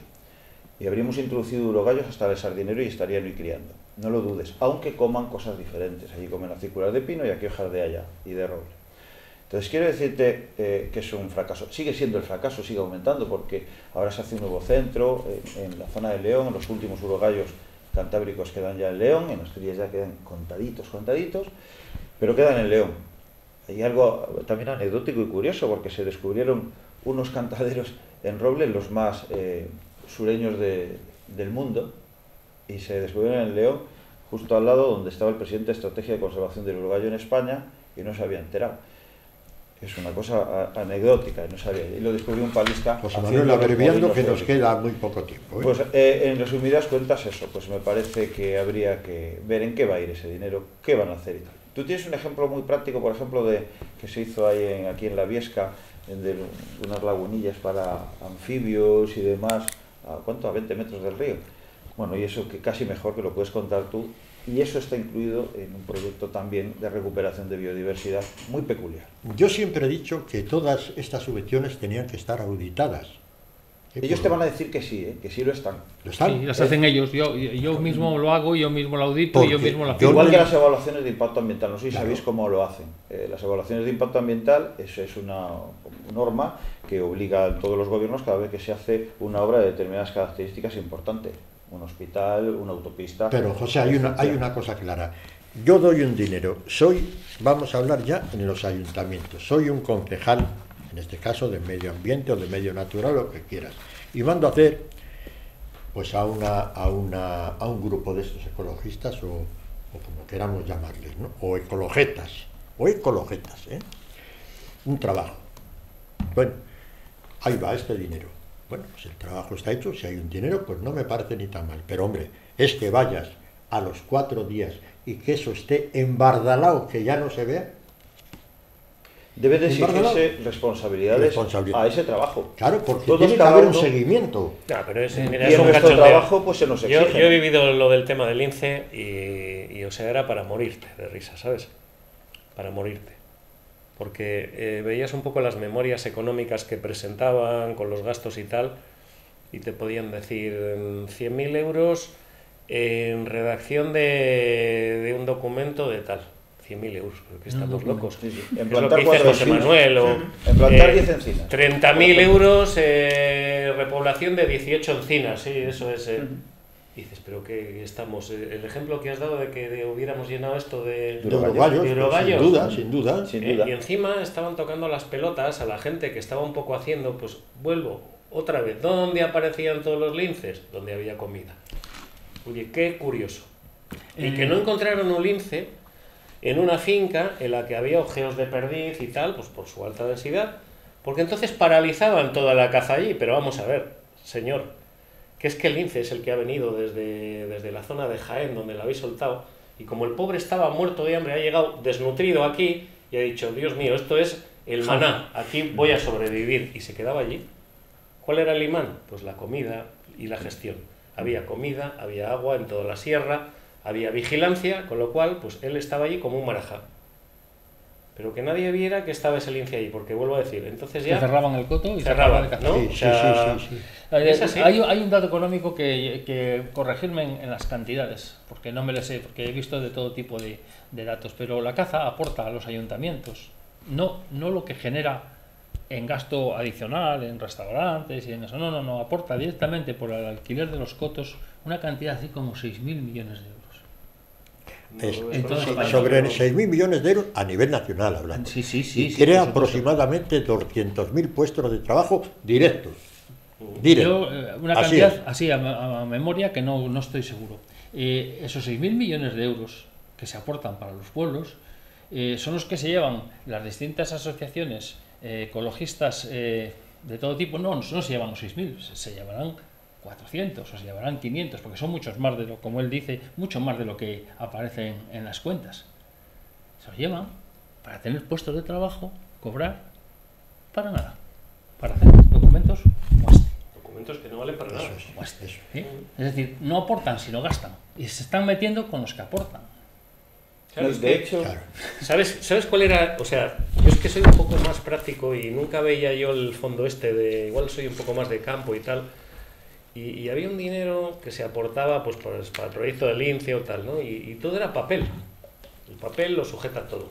Pero ¿Y gestiones de campo, no ¿usted qué ha hecho? Ha puesto, a ver, vamos a ver, que es que el INCE, por mucho papel que haga y tal, bien, que eso está muy bien, queda muy bien, ¿no? tiene que comer. 100.000, 200.000, vale. Pero, ¿qué más han hecho? ¿Han ido un poco más allá? ¿Alguien ha excavado una zanja? ¿Han repoblado 10 perdices? ¿Han puesto un poco de agua? No sé.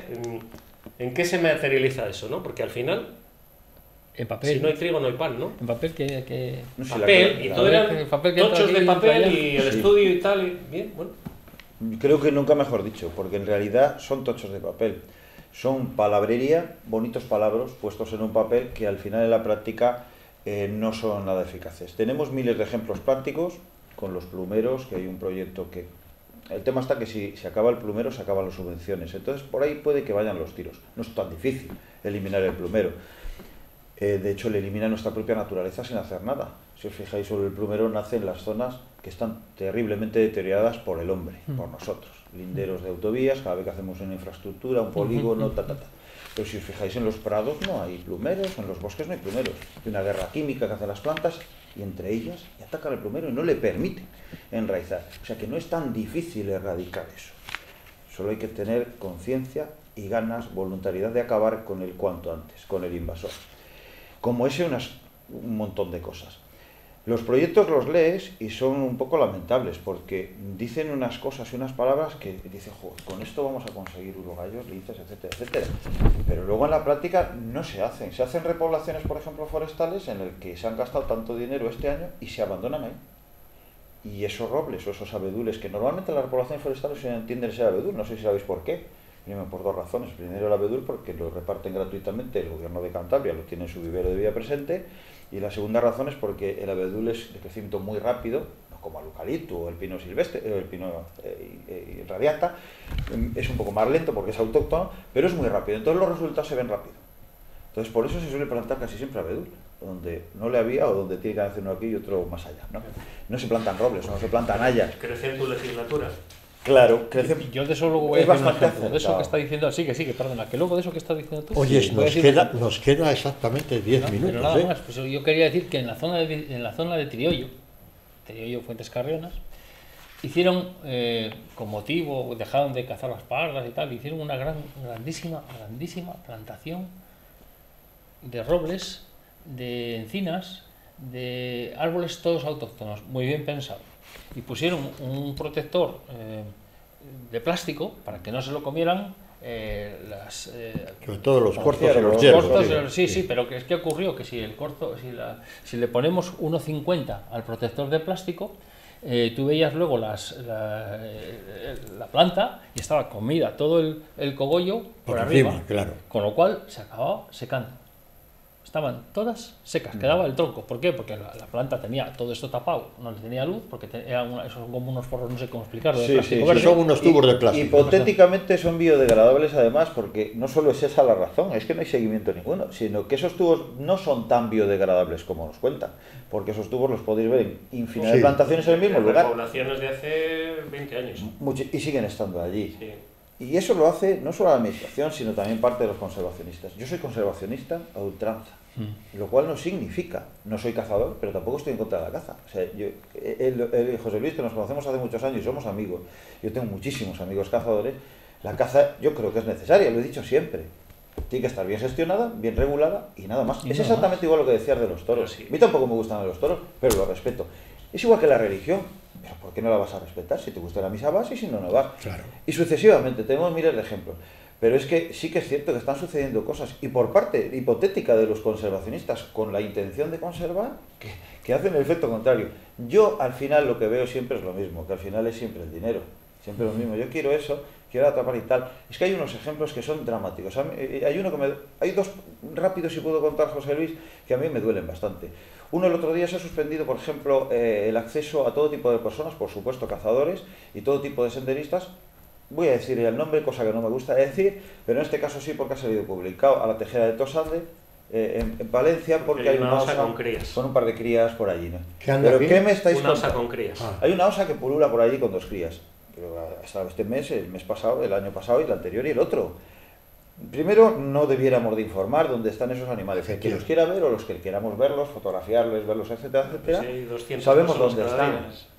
Pero lo que no podemos es prohibir entrar allí y poner puertas al monte, porque luego vienen los problemas. Luego vienen que eh, a, la, a la gente, sobre todo de la zona, la- no le gustan esas cosas y pueden tomar medidas radicales que esas sí que no queremos ninguno.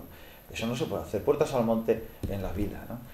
Eh, esa es una de las cosas que quería comentar. Y la otra, por ejemplo, me acuerdo de una de las medidas eh, a tomar para eh, minorizar la... Hay un título, como decías antes... Matizo tema lo que has dicho, matizo lo que has dicho porque lo conozco un poco Sí. bien. Allí lo típico es darse la vuelta a la tejera de Tosande y luego te vas a comer una chuleta a Cervera de Pisuerga. Sí, sí. Con lo cual, los de los restaurantes de Cervera de Pisuerga no les va a hacer ni puñetera gracia que cierren aquello porque Eh, cada día pues han Roza- palmado todo el tema Mira, turístico. eso roza en realidad roza lo ridículo y roza lo absurdo, porque por esa regla de tres, ahora mismo hay varias osas paridas, eh, que se sabe la guardería, etcétera, etcétera, o sabemos algunos dónde más o menos están ubicadas y si dijéramos lo mismo, a mí mismo me perjudicaría. O sea, eso tiene que estar y no hay más vuelta de hoja. José Manuel, vamos a ver, vamos ya un poquitín a, para ir acabando eh, lo que empezamos. Todo el tema este de la protección animal, lo que nos espera a los cazadores, Jesús. Quiero que digas Yo- alto y claro Yo creo que esto no puede ir adelante porque esto es una barbaridad. Es decir, eh, ¿quién va y con qué características van a determinar si yo puedo criar o no, o no criar? Ya sabes que yo no crío, pero si un día me diera la gana, Claro. ¿por qué no voy a poder hacerlo con mis perros? ¿Por qué voy a tener que esterilizarlos? ¿Por qué voy a tener que asumir ese gasto? Si yo no, no, no, no, los- no los estoy reproduciendo el día que los quiera, son para mí y mis amigos, seguro, además. ¿Quién va a determinar que yo reúno las condiciones suficientes para poder criar con eso? ¿Otra, otra entidad? ¿Otra entidad de, de derecho público? Otra, ¿Otros funcionarios de los de la lista de los amigos? ¿Van a decidir si puedo criar o no puedo criar? ¿Qué condiciones tengo? Es una barbaridad, se lo tienen que echar atrás, porque tal y como está redactado, eh, es solamente para que lo cumplan los cazadores, no para que lo cumplan las mascotas de las, de las ciudades. Nadie se va a meter con las mascotas de las ciudades. Se van a meter exclusivamente con los cazadores. Exclusivamente. Eh, es una ley eh, es una ley totalitaria. Eh, La definición eh, es intervenir en tu vida y decidir qué haces tú con tus cosas. Se, cargan todo, se, están cargando. ahora quieren cargarse también las vacas de, de carne porque producen mucho CO2, cuando son los animales que menos producen y los que mejor movilizan todos los recursos de la naturaleza. Mm, La ganadería de siempre. Se han cargado eh, la ganadería extensiva que limpiaba los montes, la que, no sé si lo digo bien, extensiva en el sentido de que se soltaban en sitios donde estaban llenos de brezos y, y ellos hacían pues su labor de limpia y al roble le iba muy bien y al tejo le iba muy bien y le iba muy bien a, a todo. Ahora quieren proliferar el jabalí y como prolifera el jabalí no hay urogallos. No puede haber urogallos donde prolifera el jabalí, pues se come todos los huevos y no tiene, y no tiene solución. Esa, eh, si, si él este criase en los árboles, habría urogallos. Jesús, Pero como no crían, no le eso eche- es una no, no, no, barbaridad. es una no, barbaridad. es- Se no, si no te iba, barbaridad. te iba a decir otra cosa. No le echemos la culpa al jabalí de que no haya, de que no haya ¿eh? Pero la mayor parte la tiene. No, Sí, sí, sí. no, no, José Manuel. Parte, parte de su Una culpa. parte. Tiene una parte, tiene una parte. Pero la Hay otra más. parte, la infinidad Hay de más que hay. Sí, sí, no, desde luego hay muchas más cosas, muchas más, pero, Pero sería para dialogarlo Claro, largo y claro. tendido. El en otra jabalí cosa. es Sí. una Pero parte sí, sí también. es cierto que Sí. suena porque Bueno, yo cuando, importante. cuando íbamos allá a Ciudad Real había unos melon- había meloncillos hasta, hasta la, hasta la sopa. ahora creo que ya los hay aquí cerca. Que Es se han visto que alguno en Valderradible. Sí, ¿eh? No, no sé desconozco. si el Será meloncillo. algún bisón igual, Que- ¿no? no, no, Es no. probable que lleguen. No obstante, si está aquí, expandiendo. eso no sería lo peligroso ni lo dramático, porque el meloncillo es una especie que hay que, aunque algunos crean que es una especie invasora, es una especie autóctona. Es una especie que entró desde que África estaba unida. a España. Otra cosa que os vamos a preguntar, yo creo que de esto de la ley de bienestar animal, José Manuel, tú lo has dicho bien claro, José Manuel también, o sea, eso es una barbaridad. ¿Se va a llevar a cabo? Yo tengo mis dudas. Yo espero que no. Es que no es Esperemos, sostenible, no. esperemos. Depende, de, Bueno, la, puede- presión- puede que- de la presión, ¿eh? Sí, no, no, Sí, no, sí, pero sí, vamos, sí, que se cae por su propio pie. Lo pondrán y luego la retirarán. Es, no es viable, o sea. Es que vamos, es que va- ¿tú, ¿quién me va a no- quitar a mí? Que, que no me va a quitar nadie. Que no, no, eh, José de Luis, vamos una a ver. camada de perros con mi perra y mi perro. Pero que es que aparte- está debidamente legalizada con su pasaporte, su Sanitario, pasaporte sanitario, pero su Pero que por cuestión de números no lo es. O sea, tú, el, la reflexión que he hecho al principio, la de la consanguinidad, o sea, que es que no hay capacidad.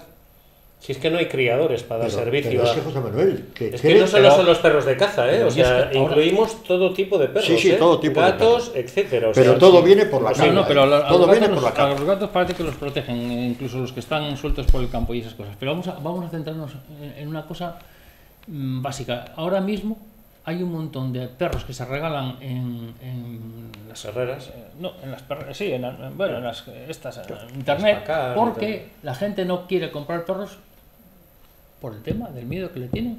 Yo hablo siempre de caza, ¿eh? no miro bichón maltés ni miro historias raras, ¿eh? porque tienen miedo a encontrarse con un perro que luego lo tengan que esterilizar, que luego les cueste un, un dinero al año, que, que tengan la, impi- la- la visita del veterinario cada dos por tres. Para sacar un perro de la perrera tienes que esterilizarle, ya es obligatorio. Ayer mismo me lo ha dicho una chica que había sacado un perrillo de estos. Para eso te hacen un seguimiento de un mes de una perrera a ver si estás capacitado para llevar el perro, cómo le tratas, cómo Claro, le ¿y, y tratas. qué consiguen? Pues que la gente no lo haga. O sea, Pues es que que la gente diga, a tomar por el ¿Me culo, venir digo, pero vamos a a mi ver. casa un mes entero?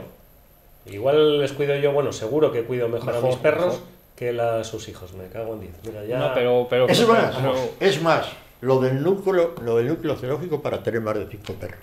Fijaros, fijaros en algunas perreras, porque yo me suelo, cuando hablo, me gusta tener conocimiento. Me gusta darme una vuelta por ahí sin que me conozca nadie, sin decir nada, a ver, mirar a ver todas las que le reúnen las condiciones para tener el núcleo zoológico. ¿Cómo están algunos perros en algunas perreras? ¿Y en casas particulares? No, no, no, en perreras, Sí. en perreras, que están predicando esto, Bueno, bueno. pues mira cómo lo tienen. Hay otras que los tienen muy bien. Mm. Y están haciendo una gran labor, ¿eh? eso desde luego. Pero sí, pero encuentran que un pasas- perro abandonado, te le recogen Sí, y pasas tal. a un pero, kilómetro y pero, que- que- pero que- José Luis vamos, es eh. como todos, eh, se abandonan 10 perros y hay 10.000 perros de caza. Que hay 10.000 perros, efectivamente. Se abandonan 10, Pero claro. 15, ¿sabes? ¿Cómo no les van a tener bien atendido? Si es que hay un dineral de dinero que dan los ayuntamientos para que tengan esas perreras en condiciones. Mira, lo de la, cerce- lo de la zarceta, eh, lo de la... lo de la Pardilla, zarceta pardilla. A mí me dan set- 800.000 euros y hay zarcetas pardillas, hasta- bueno, desde, desde en los cuatro puntos cardinales de España. Mm. Y encima me guardo más de la mitad del dinero al bolsillo. No, lo que pasa es que a la cerceta pardilla le va a llegar muy poco dinero. Claro, pues eso es lo que te digo. Muy poco, muy poco. Es de cara Pero galería. Tú vas al zoo de Santillana y le dices al señor Pardo, que se sabe más que nadie, Y más ayer de- lo y venía de aves acuáticas. Ayer lo venía criticando en el diario Montañés todo esto del bienestar animal. Le dices, señor Pardo, deme una, mm, ¿qué vamos a hacer con estas tarjetas pardillas? Hay que hacer eso, digo, dejármelas a mí. No, es que no te voy a cobrar nada, que te pongo aquí un espacio en aquel regato y en dos años tienes 40 polluelos de tarjeta pardilla. Gratis. Sí. Es que además en el caso de ella es muy fácil. Hay- animales muy difíciles como el urogallo, eso es verdad. Efectivamente, Pero en el caso de las aves acuáticas. Después hay otra para terminar, que esta te va a ti. Lo de la introducción del pigardo en la cornisa cantábrica, del pigardo y del lince boreal, donde según un grupo muy famoso, un grupo muy conocido, conocido, se le conoce más por el dinero que recibe que por los actos que hace.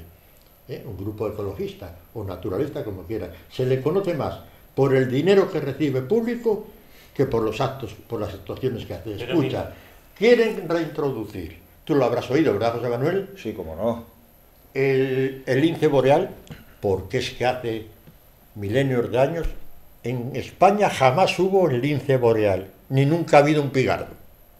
José Manuel, corrígeme si me equivoco. No, no te equivocas, pero hay que puntualizarlo. El lince boreal existió en Pirineos. En Pirineos, algunos. En Pirineos alguno. Y de hecho algunos dicen que se ve por la parte francesa. El lince boreal no ha existido aquí. Bueno, igual en la época de los dientes de sable, de aquellos leones y eso, igual sí. Eh, pero no. Y el pigargo no existió nunca. El pigargo es un gran águila. El pigargo, para que sepáis qué es, eh, es, eh, por ejemplo, la foto que sale en la bandera americana. Es un águila pescadora, es un águila calva. En el caso de la americana tiene la cabeza blanca. Son especies del, del norte de- del- del centro y norte de Europa. de centro, centro y norte de Europa. El pigargo europeo no la tiene blanca, pero es el mismo tamaño, es una águila de más de 3 metros y súper poderosa.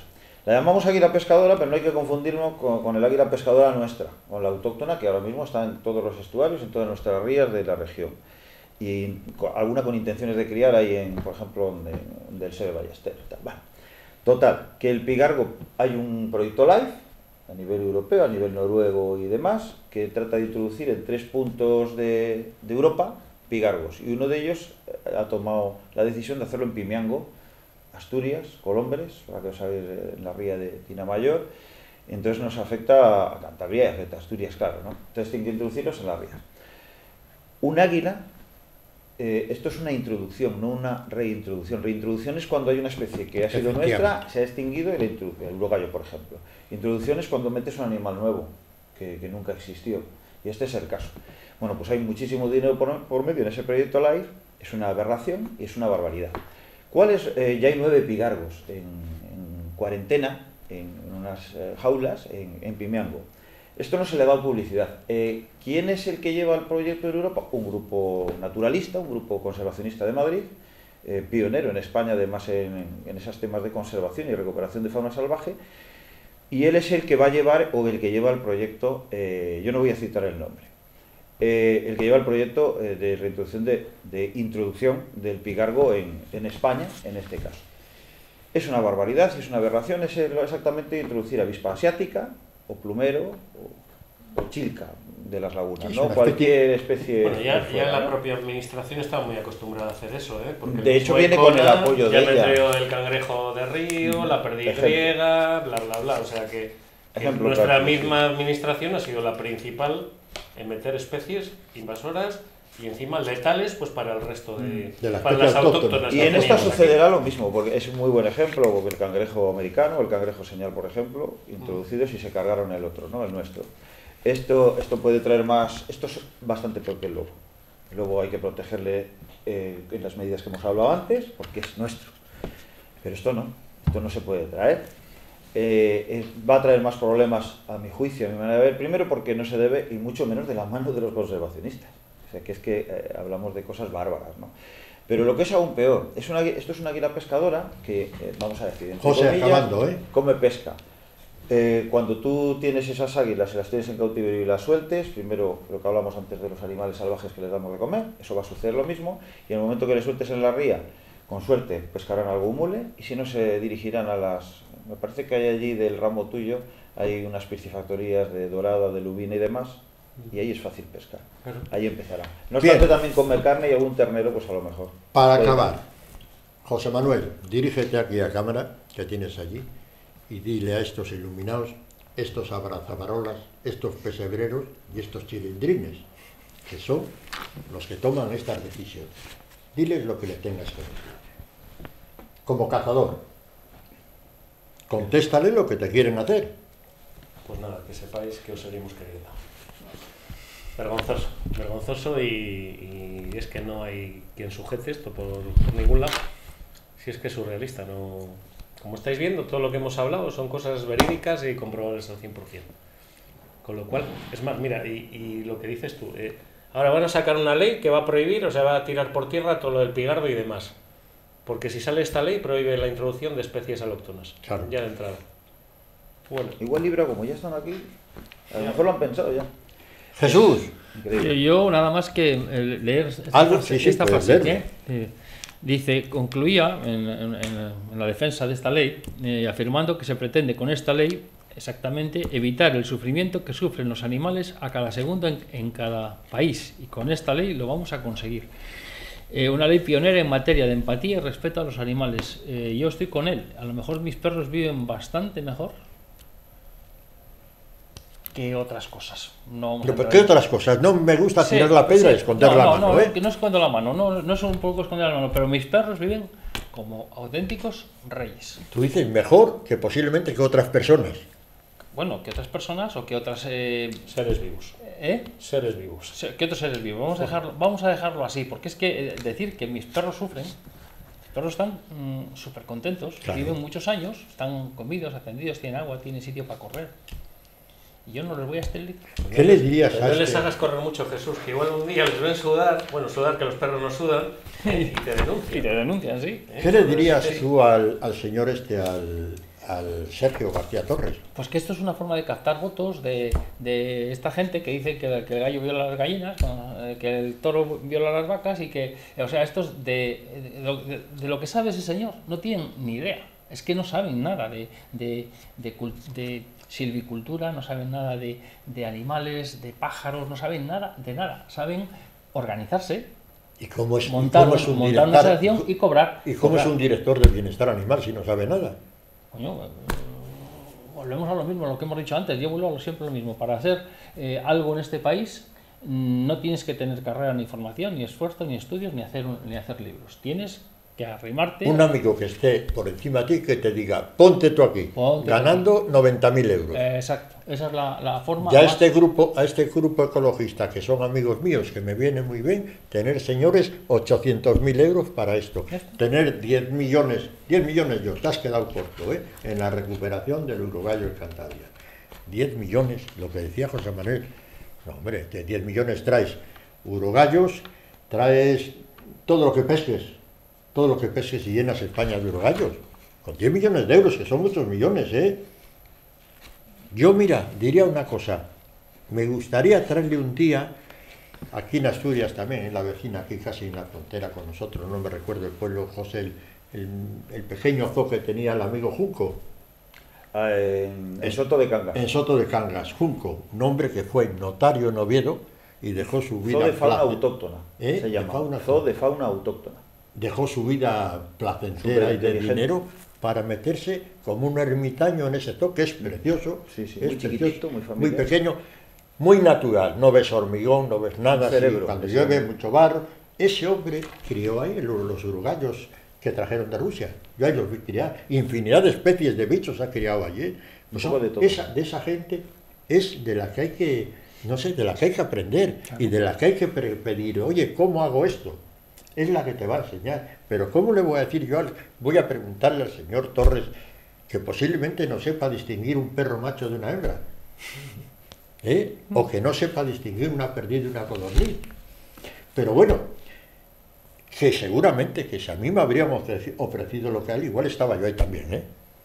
Tampoco me gusta mucho el Bueno, pero, a mí me dicen, no, está, "Oye, no está mal si se lo ofrecen a ese señor que sabe de pájaros todo lo que quieras, está justificado. Pero eso era trabajo, ¿sabes? Mira, yo hice Bueno, la pero en ese caso está justificado. carrera ¿eh? En un centro de fauna salvaje. Y criábamos, llegamos a criar quebrantahuesos en Bailcalén, en Lérida. Sí, sí. Contrástalo, pues Sí, sacamos, sí, no, nos no. disfrazamos de. Hicimos un quebrantahuesos que era la madre, incubamos los ¿no? huevos, tal. Pues lo hicimos, cuatro chavalucos allí. Y aquello era bonito, porque luego con eso se reintrodujo. y no costaba Pero eso no era dinero". papel, ¿sabes? No, joder. No costaba Vale. nada. Costó dinero. No costaba nada. Militares, militares, éramos militares. nada, no costaba nada. Eso ya se acabó todo. Bueno, pues queridos amigos, a los dos José Manueles, al doctor López de la Riva, que es un placer estar aquí con vosotros, con gente, con gente de la cual se aprende tanto. Eh, yo, como veis, me gusta mojarme cuando hay que mojarse, y, pero claro, yo como vuelvo a decir, si a mí me ofrecen un puesto como este señor ganando 90.000 euros, igual estaba yo ahí también. Ahora, seguro que sé algo más que el del campo, ¿eh? Eso, seguri- eso segurísimo, ¿verdad, José Manuel? Seguro, no Pero ya lo dice el refrán, ¿eh? Que Dios me ponga donde haya, que ya me encargaré yo de coger. O algo así, ¿no? No tiene mucha pinta el de la foto, ¿eh? de, de campestre. Y el, y el- y el otro que está al lado de él, Menos. Menos. mira, mira qué pinta tiene. No la enseñes a la cámara. Bueno, no, es igual. Si aquí, este es un país, vuelvo a decir, este es un país, aquí no importa nada. Este es un país de pandereta y de pito y tambor. Y de los blancos por la mañana y del vinillo y se acabó. Y aquí no importa si tus hijos tienen trabajo, si tus hijos están en un ERTE y a ver cuándo vuelven a trabajar, no pasa nada. Dinero hay para todo, menos para los pobres autónomos, menos para el pobre que va a crear una empresa, es decir, no tiene trabajo y te voy a montar, aunque sea algo para trabajar yo, no vayas a pedir un duro, que no te van a dar nada, te no pidas nada. Ahora, dinero, para toda esta gente, lo que haga falta, además se puede demostrar, y perdonar por las palabras, pero es que es así. Y es que no hay mejor cosa que hablar el buen castellano, para que te entiendan. ¿No es así? Así es. Así es. Así. Entonces, así te puede entender todo el mundo. Pero todo eso está, eh, eso que están haciendo con, con estos, que son todos los, los verdes, para, para entendernos, o, eh, o la gente que está a favor de ciertas cosas, están comprando el voto de esos. Están comprando el voto del niño de 18 años que le van a dar 400 euros Sí, sí. de esos impuestos porque Ah, vamos, esa- vamos esa a otra, votar. esa es la vamos otra. a votar Esa- esa dentro- Un- un dato, ¿eh? Por ahí va, por ahí están va. comprando, están comprando el, el voto del inmigrante marroquí que eh, ya es ciudadano en cuanto le dan una tarjeta de trabajo y no sé qué y tiene y tiene que votar. ya Tarjeta, habéis visto tarjeta- a, a una- tarjeta de trabajo aunque no trabaje. José, pero, pero un dato importante, que has nombrado una asociación importantísima a nivel mundial, que es la SEO. La SEO fue creada por cazadores, ¿eh? La, fue, la, SEO fue, la SEO fue creada por los cazadores. Solamente pues que lo que no se, lo que se quita y no se pone se descompone. Bueno, pues ya está. Pero la SEO y Sí, la esencia de ella es del mundo de la Sí, sí, caza. sí, es así. De modo desinteresado, cuando no había subvenciones. Y de aquello no quedó nada. De aquellos hombres que fundaron eso se acabó. y pusieron dinero, además ellos. Claro, claro. Pusieron claro. dinero, y Sí, sí, pusieron sí, sí. dinero. Es que la, infin- la la infinidad de los estudios legalizados y, y fiables que se están haciendo con la caza, les cuesta dinero hacer. Pregúntaselo al señor Garrido, que posiblemente sea una de las personas que más sabe sobre la codorniz en este país y, y en Europa, pregúntale a ver, a ver el dinero que recibe eso. Bueno, pues, pues vuelvo a decir, es que esto, esto es, cuando las cosas hacen, esto es un sentido. El sentido común brilla por su ausencia. Porque empiezas a leer ese papel, empiezas a leer este, empiezas a leer este, empiezas a leer esto otro, y dices tú, pero, pero bueno, esto, este país, nos hemos vuelto todos locos. No, cabrea porque... Cabrea, cabrea porque está viendo... Eh, porque viendo- aparte es una imposición, ya, o sea, ya estamos rozando ya el... Eso, No, está- que te impongan continuamente... No, que- no, que- estás, estás rotando el tema dictatorial. Nos están obligando Eso. a decir esto lo haces por cojones. Sí. Y no hay más. No, y, y, no hay más. Y solamente está- nos están llevando con la, con la técnica que tiene siempre esta gente de hacer un subvencionado. Sí. Eh, ser- el trabajo no. El trabajo te da no, no, no, el trabajo no. No, subvencionado. Al trabajador, como vuelvo a decir, al pobre autónomo, al pobre que va a crear una empresa. Tú tienes una gran empresa. ¿Recibes muchas ayudas tú? Tú también igual, algo Yo cae. solo, solo les digo que nos dejen trabajar tranquilos. Que no necesitas más. No, no, porque a veces eh, roza el tema de, de amenaza, o sea, y como te pases un milímetro, te, te crujo. Te, Que no te den, pero que no te quiten. Déjame trabajar, por favor, que no es que no... Que no te den, pero que no te quiten. No, no, no, que me dejen.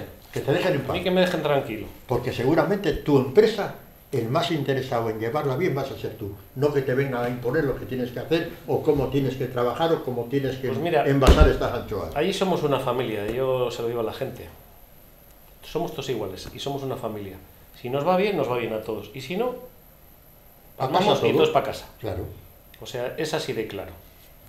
Bueno, pues Hoy me estaba dando yo una vuelta por Torrelavega, que hacía mucho tiempo. Torrelavega es el mejor pueblo de España, ¿eh? No, que no nos quepa la menor duda. Y le he conocido en los tiempos de, de, de la, vamos... de Cuando era la ciudad del dólar, de La ciudad del dólar, en los tiempos gloriosos. Y Cuando- hoy he cuando ido a la- tomar un café ahí a, la, Jesús, a un centro cuando la ciudad de Torrelavega saludaba al pueblo de Santander. Eso es, muy bien, porque estaba la Firestone, el Arneaz, el Asolva y pum, había eh, a- a- Álvarez Forestal. Ay, me ha dado una pena, eh, he ido al centro comercial a Un tomar pueblo café. fantasma. No, ¿eh? Un Porque- pueblo fantasma Porque por culpa tuya yo no he podido comer. Que me, me- me traes unas cosas que no puede ser. Joder, pero si estás jubilado, no puedes- ya, pero no, pero tenía toda ma- primero, toda come la- primero, toda la mañana tenía allí a, a la, a la gente. Bueno, el caso es que eh, hacía, no, no andaba por esa zona, Julio Aceur o esa, esa zona, y lo de atrás, porque he entrado por un lado y he salido por el otro, y están más del 50% de los bajos comerciales. Se venden o se alquilan. No, no, bastante más del 50%. Bueno, pero yo por decir una cantidad así creíble. Mira, te voy a decir en Torrelavega Estoy apenado. una calle, una calle muy nombrada y típica de Torrelavega y famosa como era la calle Carrera. Estaba en la llama para abajo. El 90% de los locales cerrados y se alquilan. Pero claro, ha habido gente que ha ido a querer poner algún comercio, pero coño, es que me piden unos precios que, que- que- que no se pueden, que no se pueden pagar como está el tema ahora, los precios para alquiler. Es que piensa que la gente que las cosas se puede pedir por el, lo- el local, lo que se pedía hace 15 años, Y eso es teniendo en cuenta que el 50% de la población de Torlavega está en paro, ha bajado, ha bajado no sé cuantísima la población de, de Torlavega, ha bajado bastante, ¿eh? Y comparado se, con se los salva porque mucha, mucho porcentaje es de gente jubilada, con buenas jubilaciones encima Claro. de Erniace, de todas estas empresas. Sí, pero, pero no se gastan, no hay dinero. No, no, no, cuando no, hay dinero en no, las si tiendas, aquí- funciona. A la- si aquí tú sabes la población de fuera que ha venido, la población de migrantes, Mm, vas a la inmobiliaria y, y es desconocido aquello. Ahora a mí me hace curioso. me- Pero no, trabajando, esa gente trabaja, no. no les he preguntado. Yo, lo- pues igual sí, porque les ves con unos móviles y unas tablets y unos pepinos todo el día con ellos. No, pero no, no suelen venir a pedir. Yo no sé si trabajarán o no. Yo lo que sé es que les dan dinero. A ver, ¿para qué vas a trabajar si te lo dan? Te quiero decir, es Además que es, es incompatible porque recibir tonto, subvención, es incompatible cobrar el paro y trabajar. Sí, sí, sí, claro. Pero No, no, no, es vuelvo a decir, ¿no? este es el país de Es que pandereta y de pito y tambor, amigo. Aquí esto, yo no sé, yo no- nosotros, los que somos viejos, vosotros sois jóvenes, pues esto, Sí, muy, muy joven. no sé qué, de los de, tu- de los de nuestra edad. Pero no, ¿en qué va a parar esto? Pues yo lo sé. Pena me da, a mí me da mucha pena la juventud.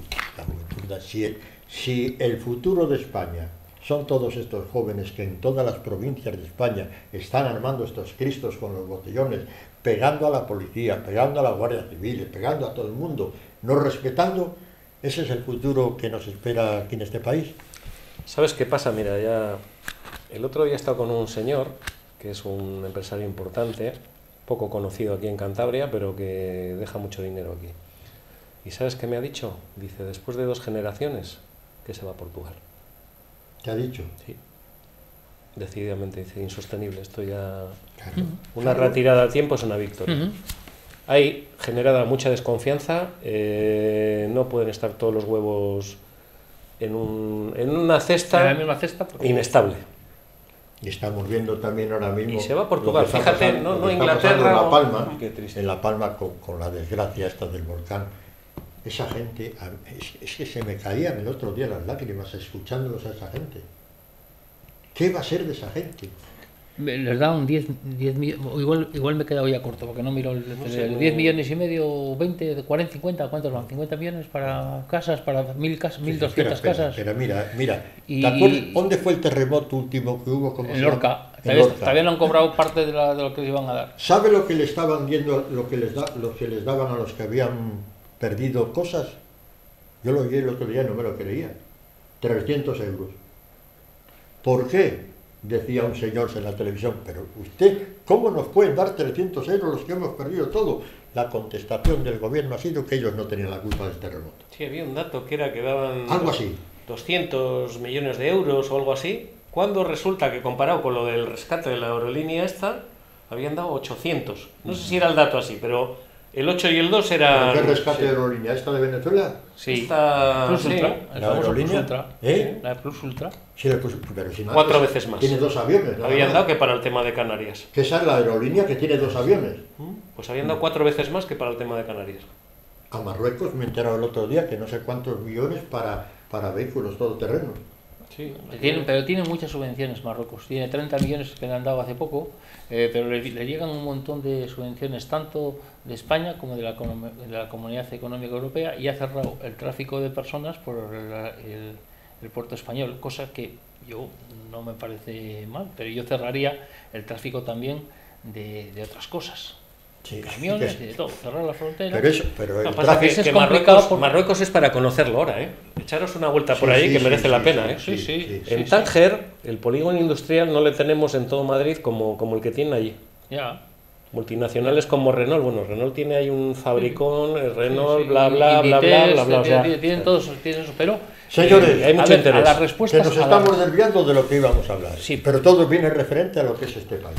Eso, a, la- a donde vamos, a, a más paro vamos. y más subvencionado, el- y entonces el subvencionado solo- va a callar, porque si no, no cobras. Si el no tiempo bueno, solo, no yo lo que os invito, si queréis, cuando queráis y cuando me digáis, venir otro día, pues cuando sepamos un poco más. Ojalá, ojalá no tengamos que venir más a hablar del tema este. Mira, en Marruecos, como dato En último, Marruecos mucho marroquí. Déjate en paz si de matas una perdiz tienes que repoblar dos. ¿Qué os parece? Eso Muy es bien. ley. Sí, Muy sí. bien. Muy bien. Bueno, pues oye, ahí está. Bueno, pero, y, y- y aquí pues no, no haría falta nada de eso si hubiesen respetado fuentes, hubiesen respetado canales. bah. Vamos a, vamos a dejar Si cosas, hubieran cosas dejado- más sencillas, cosas más sencillas a las que en su momento nos opusimos. Pero desde luego Sí. tenemos que venir si antes de la de la fecha en la que se ha establecido pues una manifestación, porque además eh, eh, a favor de Joder, lo que tú Jesús, dices, venga, hombre, que le Ah, pero a, fa- coño. a favor tuyo el, el hacerla en cada sitio, voy a para, para centrarnos. Y a favor de hacerla una sola es porque es la, la que tiene repercusión. Es decir, si tú quieres una repercusión europea, tienes que hacer una, una manifestación frente al Ministerio de Agricultura de 200.000 personas. Pero ¿por qué hacerla a la primavera, Sí, el mes que viene? la que se hizo en los municipios lo- funcionó. Salimos todos, ¿Por qué con hijos, mujeres, con... Porque Yo a mi mujer y a mis hijos a no les voy a llevar a Madrid. Claro. pues porque no. Porque Bueno, pero por eso estoy a favor de lo que él dice en la local, Pero hay que hacer una grande en todos. nacional. Yo, por ejemplo, iría a la nacional y yo comprendo que hay mucha gente que no puede ir a la nacional por sus obligaciones, Pero igual puede ir a Santander. a Santander, o aquí a Torlavega o en un sitio, en un ministerio donde, donde haya una foto. Claro. ¿Eh? Para, para que vean la gente que no está, no está de acuerdo. Bueno, esto yo la verdad falta es- más unión, más unión entre las partes afectadas. entre todas las partes afectadas. Y eso es difícil, y por eso ellos... Hmm. Ya saben, divide y vencerás. Uy, No, eso sí saben, mira. Eso No, lo- esos- lo para eso son listos. ¿eh? Eso es para eso. Para eso son listos. Desde luego. Son como listos. nadie lo manejan eso. Señor de la Riva, muchas gracias. ¿De qué? Aquí estamos. Hasta la próxima. Hasta la próxima. Mientras se pueda hablar, aquí venimos a... ¿Y qué nos va a quitar de hablar? Pues, Lo que veas, ¿eh? Lo que veas. Lo que veas. Lo que Lo que veas. veas. Porque el que no cumpla las normas estas de, de los perros y de bienestar, ya has visto, hay unas sanciones de 60.000 euros a, a 600.000 euros.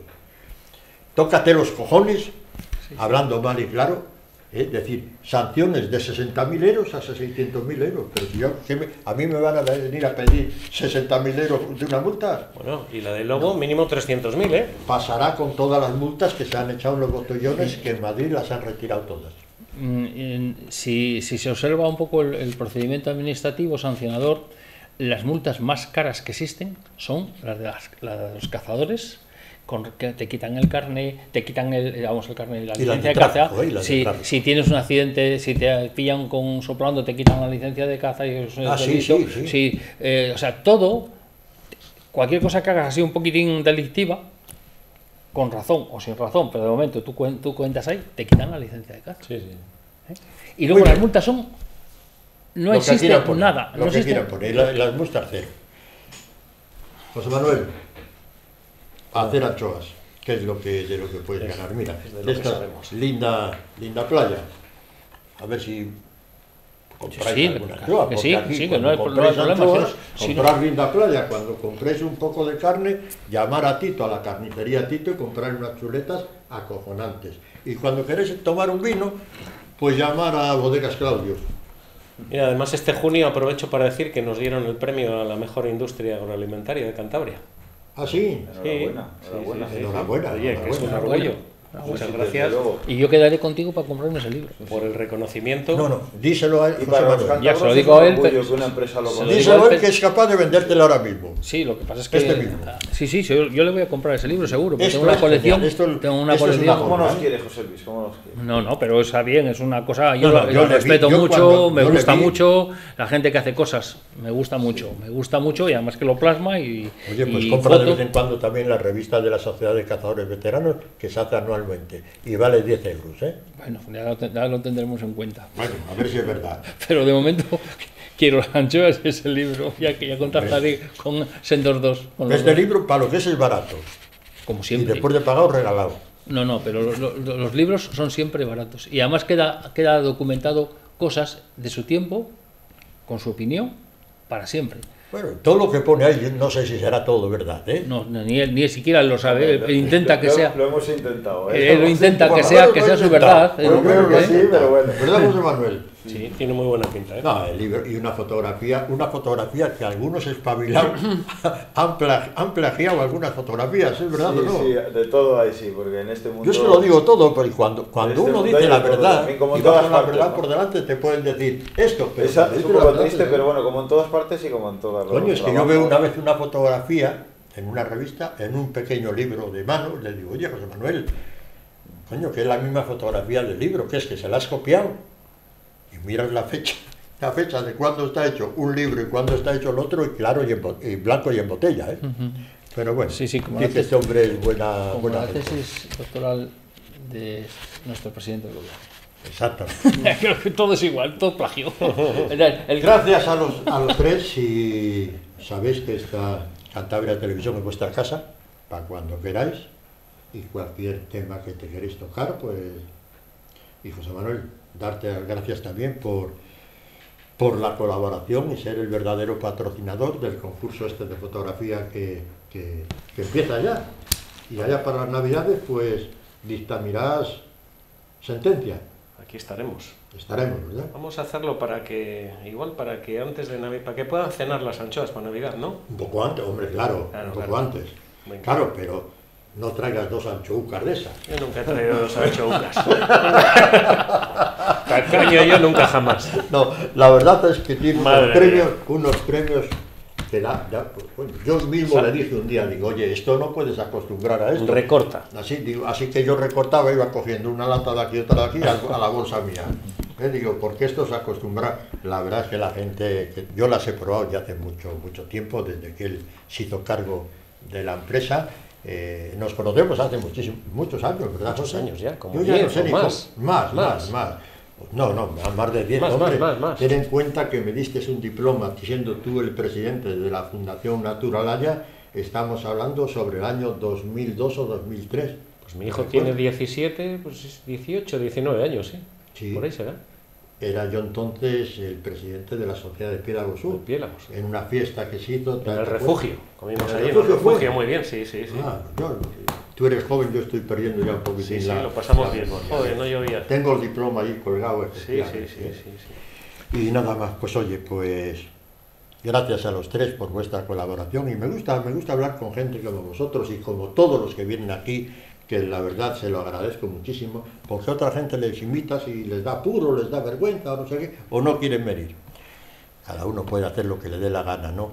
Pero sobre todo lo que me gusta es la gente que, pues bueno, pues que no, que no tira la pera y esconde la mano, aquí hay que venir a decir al pan, pan y al vino. Nos tenemos que mojar un poco más, si no estamos perdidos. Estamos Y perdidos, nuestra ¿eh? sociedad, Sí, sí, sí. por desgracia, miramos a otro lado. Mira, a mí... A- no quiere sí, líos y... Me encantaría que todos, todos los conservacionistas y naturalistas, pues como José Manuel y todos los amigos que tiene él que son así, joder, pues que sean, que sean honestos y empleen el sentido común. No, a este señor le da gusto oírle hablar, vamos. Hombre, Encima habla con propiedad y es, que habla además, bien. es que además es conmigo, con a- lógica. conmigo a cazar va mucho. Va mucho porque lo mismo que Jesús García. No, no, yo le llevaría grandes- siempre, es un libro abierto. Y encima, pues, un tío lógico, No, me él, parece. él vamos. te va dando todas las explicaciones, va- además es que sabe mucho también de, de plantas, eh, de plantas, y mira qué planta, y bueno, yo alguna voz me mirando, ¿dónde estás, José Manuel? Miro para atrás y está pues igual grabando un andrino o alguna A, planta. a veces grabo más en. Y le pregunto- a cazar más de plantas o de lo, o No, una es que, ratilla que- es que campesina el o algo. vídeo queda bonito así, ¿eh? Y grabamos un poco todo el entorno. Que la caza no puede ser solo caza, sino Dices- tiene que acompañar todo lo que hay en ese ámbito, ¿no? Efectivamente. Desde el Tengo un amigo- de todo, Tengo un amigo que ha comprado unas refles. eh, Nosotros tenemos un coto que vamos al corzo entre tres amigos y tal. Y, y dice que no ha matado un corzo este año porque está con las refles y foto y foto y foto y foto y foto y el rifle ahí, claro. y- Y, cuando se quiere dar cuenta, el corzo se fue. Y está encantado de la Sí, vida. sí, ¿cómo no? Pues sí, es así. ¿Cómo no? Si no. ¿Cómo no? Sí, sí, sí, Perfecto. Feliz. Perfecto. Si le gusta eso, perfecto. Señores, un placer. Y hasta la próxima. Y a ustedes, amigas y amigos del último Coto, ha sido un programa hoy pues un, distendido. Denunciar lo denunciable, denunciar que no hay derecho a lo que están haciendo en el mundo rural y a los cazadores. Es que no hay derecho, no hay ningún sentido. No sé cómo se consiente esto. Pero ahí tenemos que estar. Ahora es cuando verdaderamente tenemos que estar todos. En, la otra, hace unos años, aquella gran manifestación que, hubo, la ministra Narbona tuvo que dar marcha atrás. Pero ahora han empezado con prohibir la caza, entre comillas, en los parques naturales. Otra, otra de las verdaderas aberraciones que, que han hecho. Prohibieron, como dije, la caza de la tórtola común. Declarada en peligro de extinción la codorniz y la perdirroja. Y yo digo una cosa, ¿por qué no se dan una vuelta por, este, por estos pueblos? Todo eso le echan la culpa al cazador, ¿eh? empezando por ahí. La culpa al cazador de todas esas especies tiene la culpa. Pero ¿por qué faltan gorriones, faltan diferentes pajarillos insectívoros? Que no los tenemos, ya no están, y no hace tantos años estaban aquí. Yo hablándolo con José Manuel, el naturalista, Castilla es una zona privilegiada de biodiversidad. Estábamos hablando y vamos, mira, el gorrión molinero, ¿te acuerdas los que había en tu pueblo, que somos casi vecinos? Eh, ya no los hay. Eh, murciélagos, golondrinas, vencejos, aviones, se ven, pero no se ven ni la mitad. ¿Qué es? El cazador, Pardillos. Pardillos, pardillos, aquí, aquí ves, en la costa ves alguno, pero donde más ves, en Castilla ves todos los que quieras, ¿eh? ¿Así? ¿En Castilla? ¿Qué suerte tienes? Yo ni uno. Hace tiempo. No, en. Castilla ves, aquí pocos, pero en Castilla, bueno, pero bandadas de, de cientos y cientos, ¿Ah, ¿eh? sí? Sí, hombre, yo, sobre En todo... el- En el coto mío ni uno. No, no, allí muchos los hemos visto, ¿verdad? Sí, Manuel? sí. Verdaderas bandadas. Y es lo que yo les Pardillos y decía. verderones, ni uno. Oye, Ya ha ¿me, bajado un picado el verderón. ¿me dejáis despedirme? No. Sigue. Entonces, mira, ¿eh? y es lo que les decía, gracias a gente como esta, naturalistas y conservacionistas como estos, que también, pues bueno, pues no es su trabajo, no es el trabajo oficial de José Manuel, pero defiende como el primero, como el que cobra, como el que cobra por no hacer nada, él pone dinero por hacer algo. Puede parecer un juego de palabras, pero es la realidad. A él, hacer, al observar, hacer estos estudios de estos pajarillos y de estos animales le cuesta dinero. Otros lo reciben. ¿Y qué es lo que hacen? Un día vamos a hablar lo del tema de los anillamientos de los pájaros. Irrisorio. Irrisorio. No hay por dónde cogerlo. O sea, es que no hay por dónde cogerlo, pero claro, don dinero es don dinero y vuelvo a decir, si a mí me dan 800.000 euros para una recuperación, más de la mitad va para mi bolsillo, porque no se necesita nada. Se necesita cuatro perras gordas. Vayan al zoo de Santiago y pregúntenle a Pardo, un gran conocedor de la vida silvestre, lo que se necesita para la recuperación de ciertas especies. Pero lo que estábamos hablando y así lo dejo. Amigos cazadores y cazadoras. ¿El fin que tiene esto? No lo sé, pero mira que nunca, jamás me ha gustado ser pesimista. Ahora lo soy. Ahora lo soy porque esto... He estado a punto, también os quiero decir, de suspender este programa, ¿eh? de suspenderle y decir, señores, no vamos a hablar del tema de este, porque ya no sé si pienso que esta tanta publicidad a esta gente les beneficia. Igual lo mejor era estar callado y no decir ni pío. Hacer lo que tengamos que hacer y callaos. Porque esta gente cuando les das esa publicidad sacan pecho, aunque no le tengan. Ya me entendéis, ¿verdad? Sacan pecho aunque no le tengan. Pues bueno, y ellos van cogiendo, van cogiendo, van, no sé, montándose. Esta animalista en una cacería atropella a un perro porque se estaba celebrando una cacería. Tenemos que ir a hacer, tendremos que ir a una academia, hacer unos cursillos para poder tener mi perro, y el, tuyo, y el tuyo, y el tuyo. ¿Quién nos va a dar esas clases? ¿Quién nos va a enseñar a tener el perro? ¿Quién me va a enseñar a mí a tener un perro cómo le tengo que tratar? No sé si vendrán especialistas y conocedores del mundo de perro o conocedores del euro. Eso seguro que sí. El euro le conocen bien. Llevársela al bolsillo le conocen fenomenalmente. Y así una tras otra. Esperemos que el sentido común impere, yo lo dudo, y esto no se lleve a cabo porque esto es esto, yo no sé, como decía José Manuel, el, de las anchoas, él no cree que esto se pueda llevar a cabo. Pero de verdad, creeros todo, creeros todo. Todo el día están, o toda la vida han estado con la dictadura anterior que tenemos ahora, porque esto es dictar una serie de leyes que van en contra de lo normal y de lo normal y de lo común que ha habido siempre. Ustedes dirán.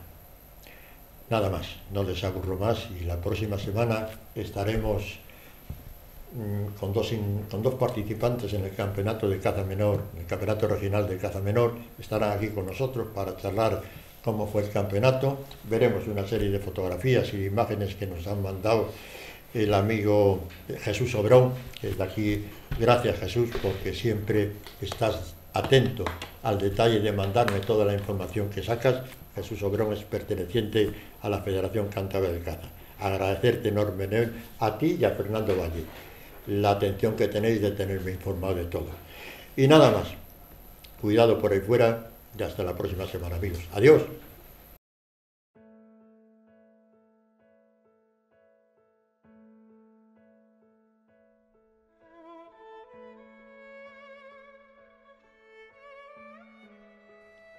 La caza es un placer de ida y vuelta. Durante seis días de la semana, el hombre se carga de razones para abandonar por unas horas los convencionalismos sociales, la rutina cotidiana, lo previsible.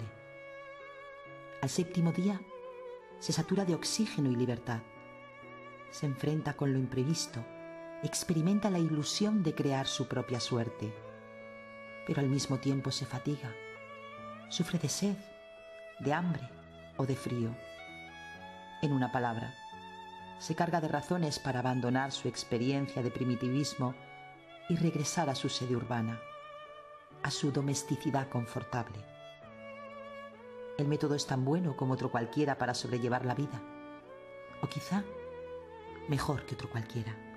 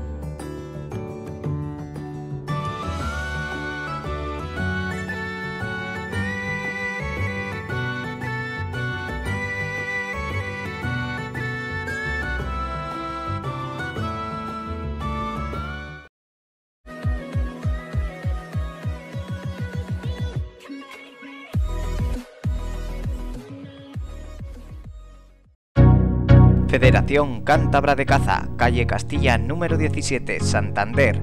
Fedérate 942 03 2070.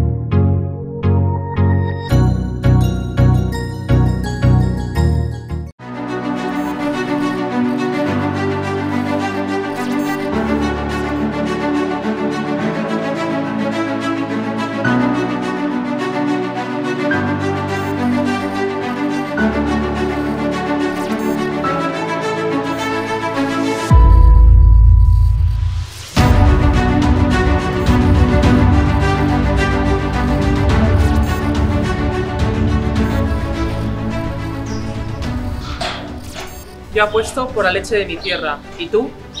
En Cantabria más de mil ganaderos trabajan para que sus vacas produzcan auténtica leche de nuestra tierra.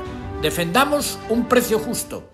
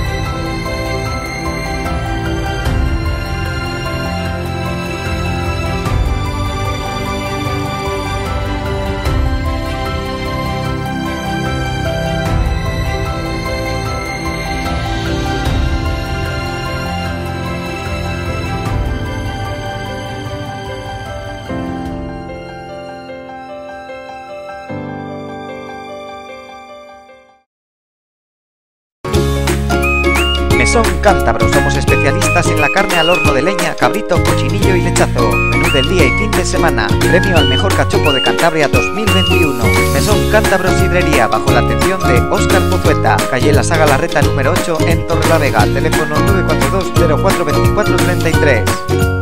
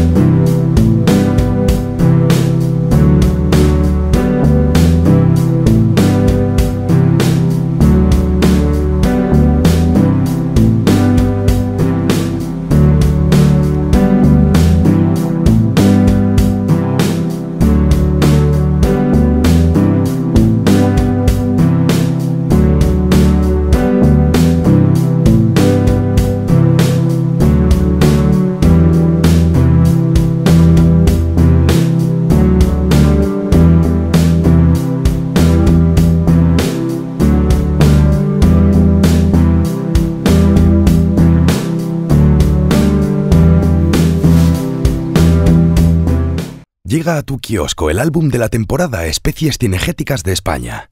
Un álbum con el que los más pequeños de la casa aprenderán jugando a reconocer todas las especies cinegéticas españolas, sus principales características, modalidades y vedas. Ve a tu kiosco y llévate con tu revista Trofeo Caza de octubre el álbum Especies Cinegéticas de España, más la primera lámina con ocho pegatinas y disfruta compartiendo tu afición en familia.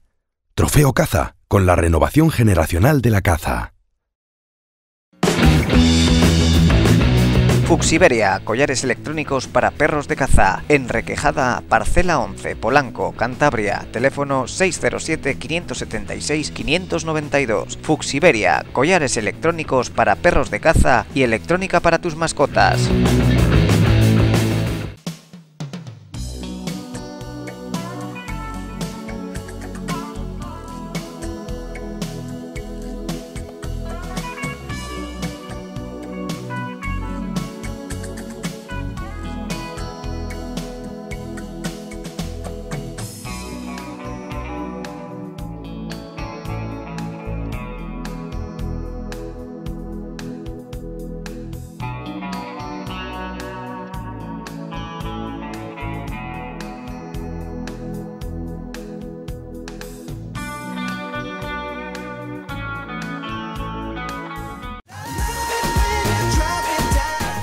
Experiencia y calidad.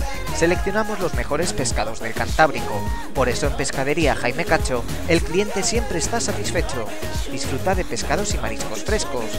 Pescadería Jaime Cacho, calle José María de Pereda número 1 de Torrelavega. Teléfono 942 89 2906. Y ahora en Rinconeda, Café Bar Andros 3, con la misma atención de siempre. Pinchos, cañas, raciones, hamburguesas, pantalla gigante. Acércate a conocernos, estamos en Rinconeda K1 Bajo, teléfono 942 84 53 90. ¿Apasionado de la caza y la pesca? Disfruta todos los días de tu afición favorita con Iberalia Go donde encontrarás 1500 documentales de todas las modalidades, especies y rincones del mundo. Cinco estrenos semanales y tres canales en directo. Además, podrás viajar con nosotros a precios exclusivos, participar en sorteos y estar informado de las novedades del sector. Suscríbete ya y disfruta de Iberalia Go en todos tus dispositivos. Iberalia Go, aquí eliges tú.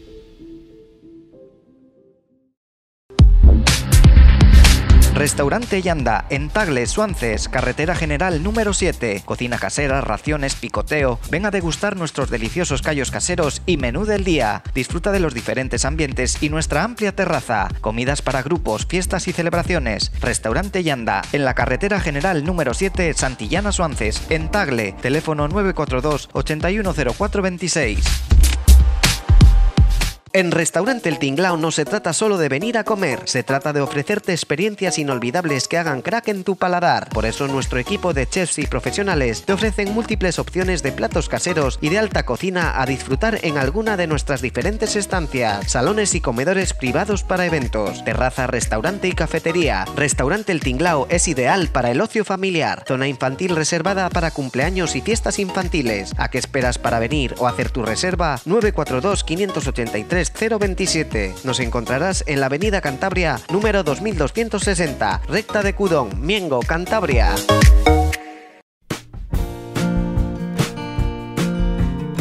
Carnicería Tito, calle 3 de noviembre número 2, Santander, teléfono 942 37 49 25.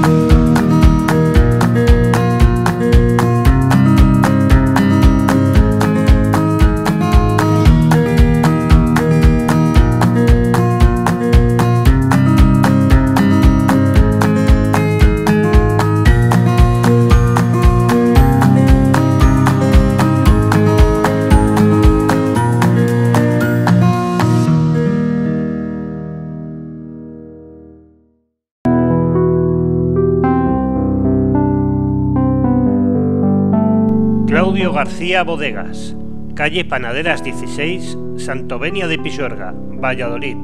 Le atendemos en los teléfonos 983-841-789 y el 635-659-919. Claudio García Bodegas.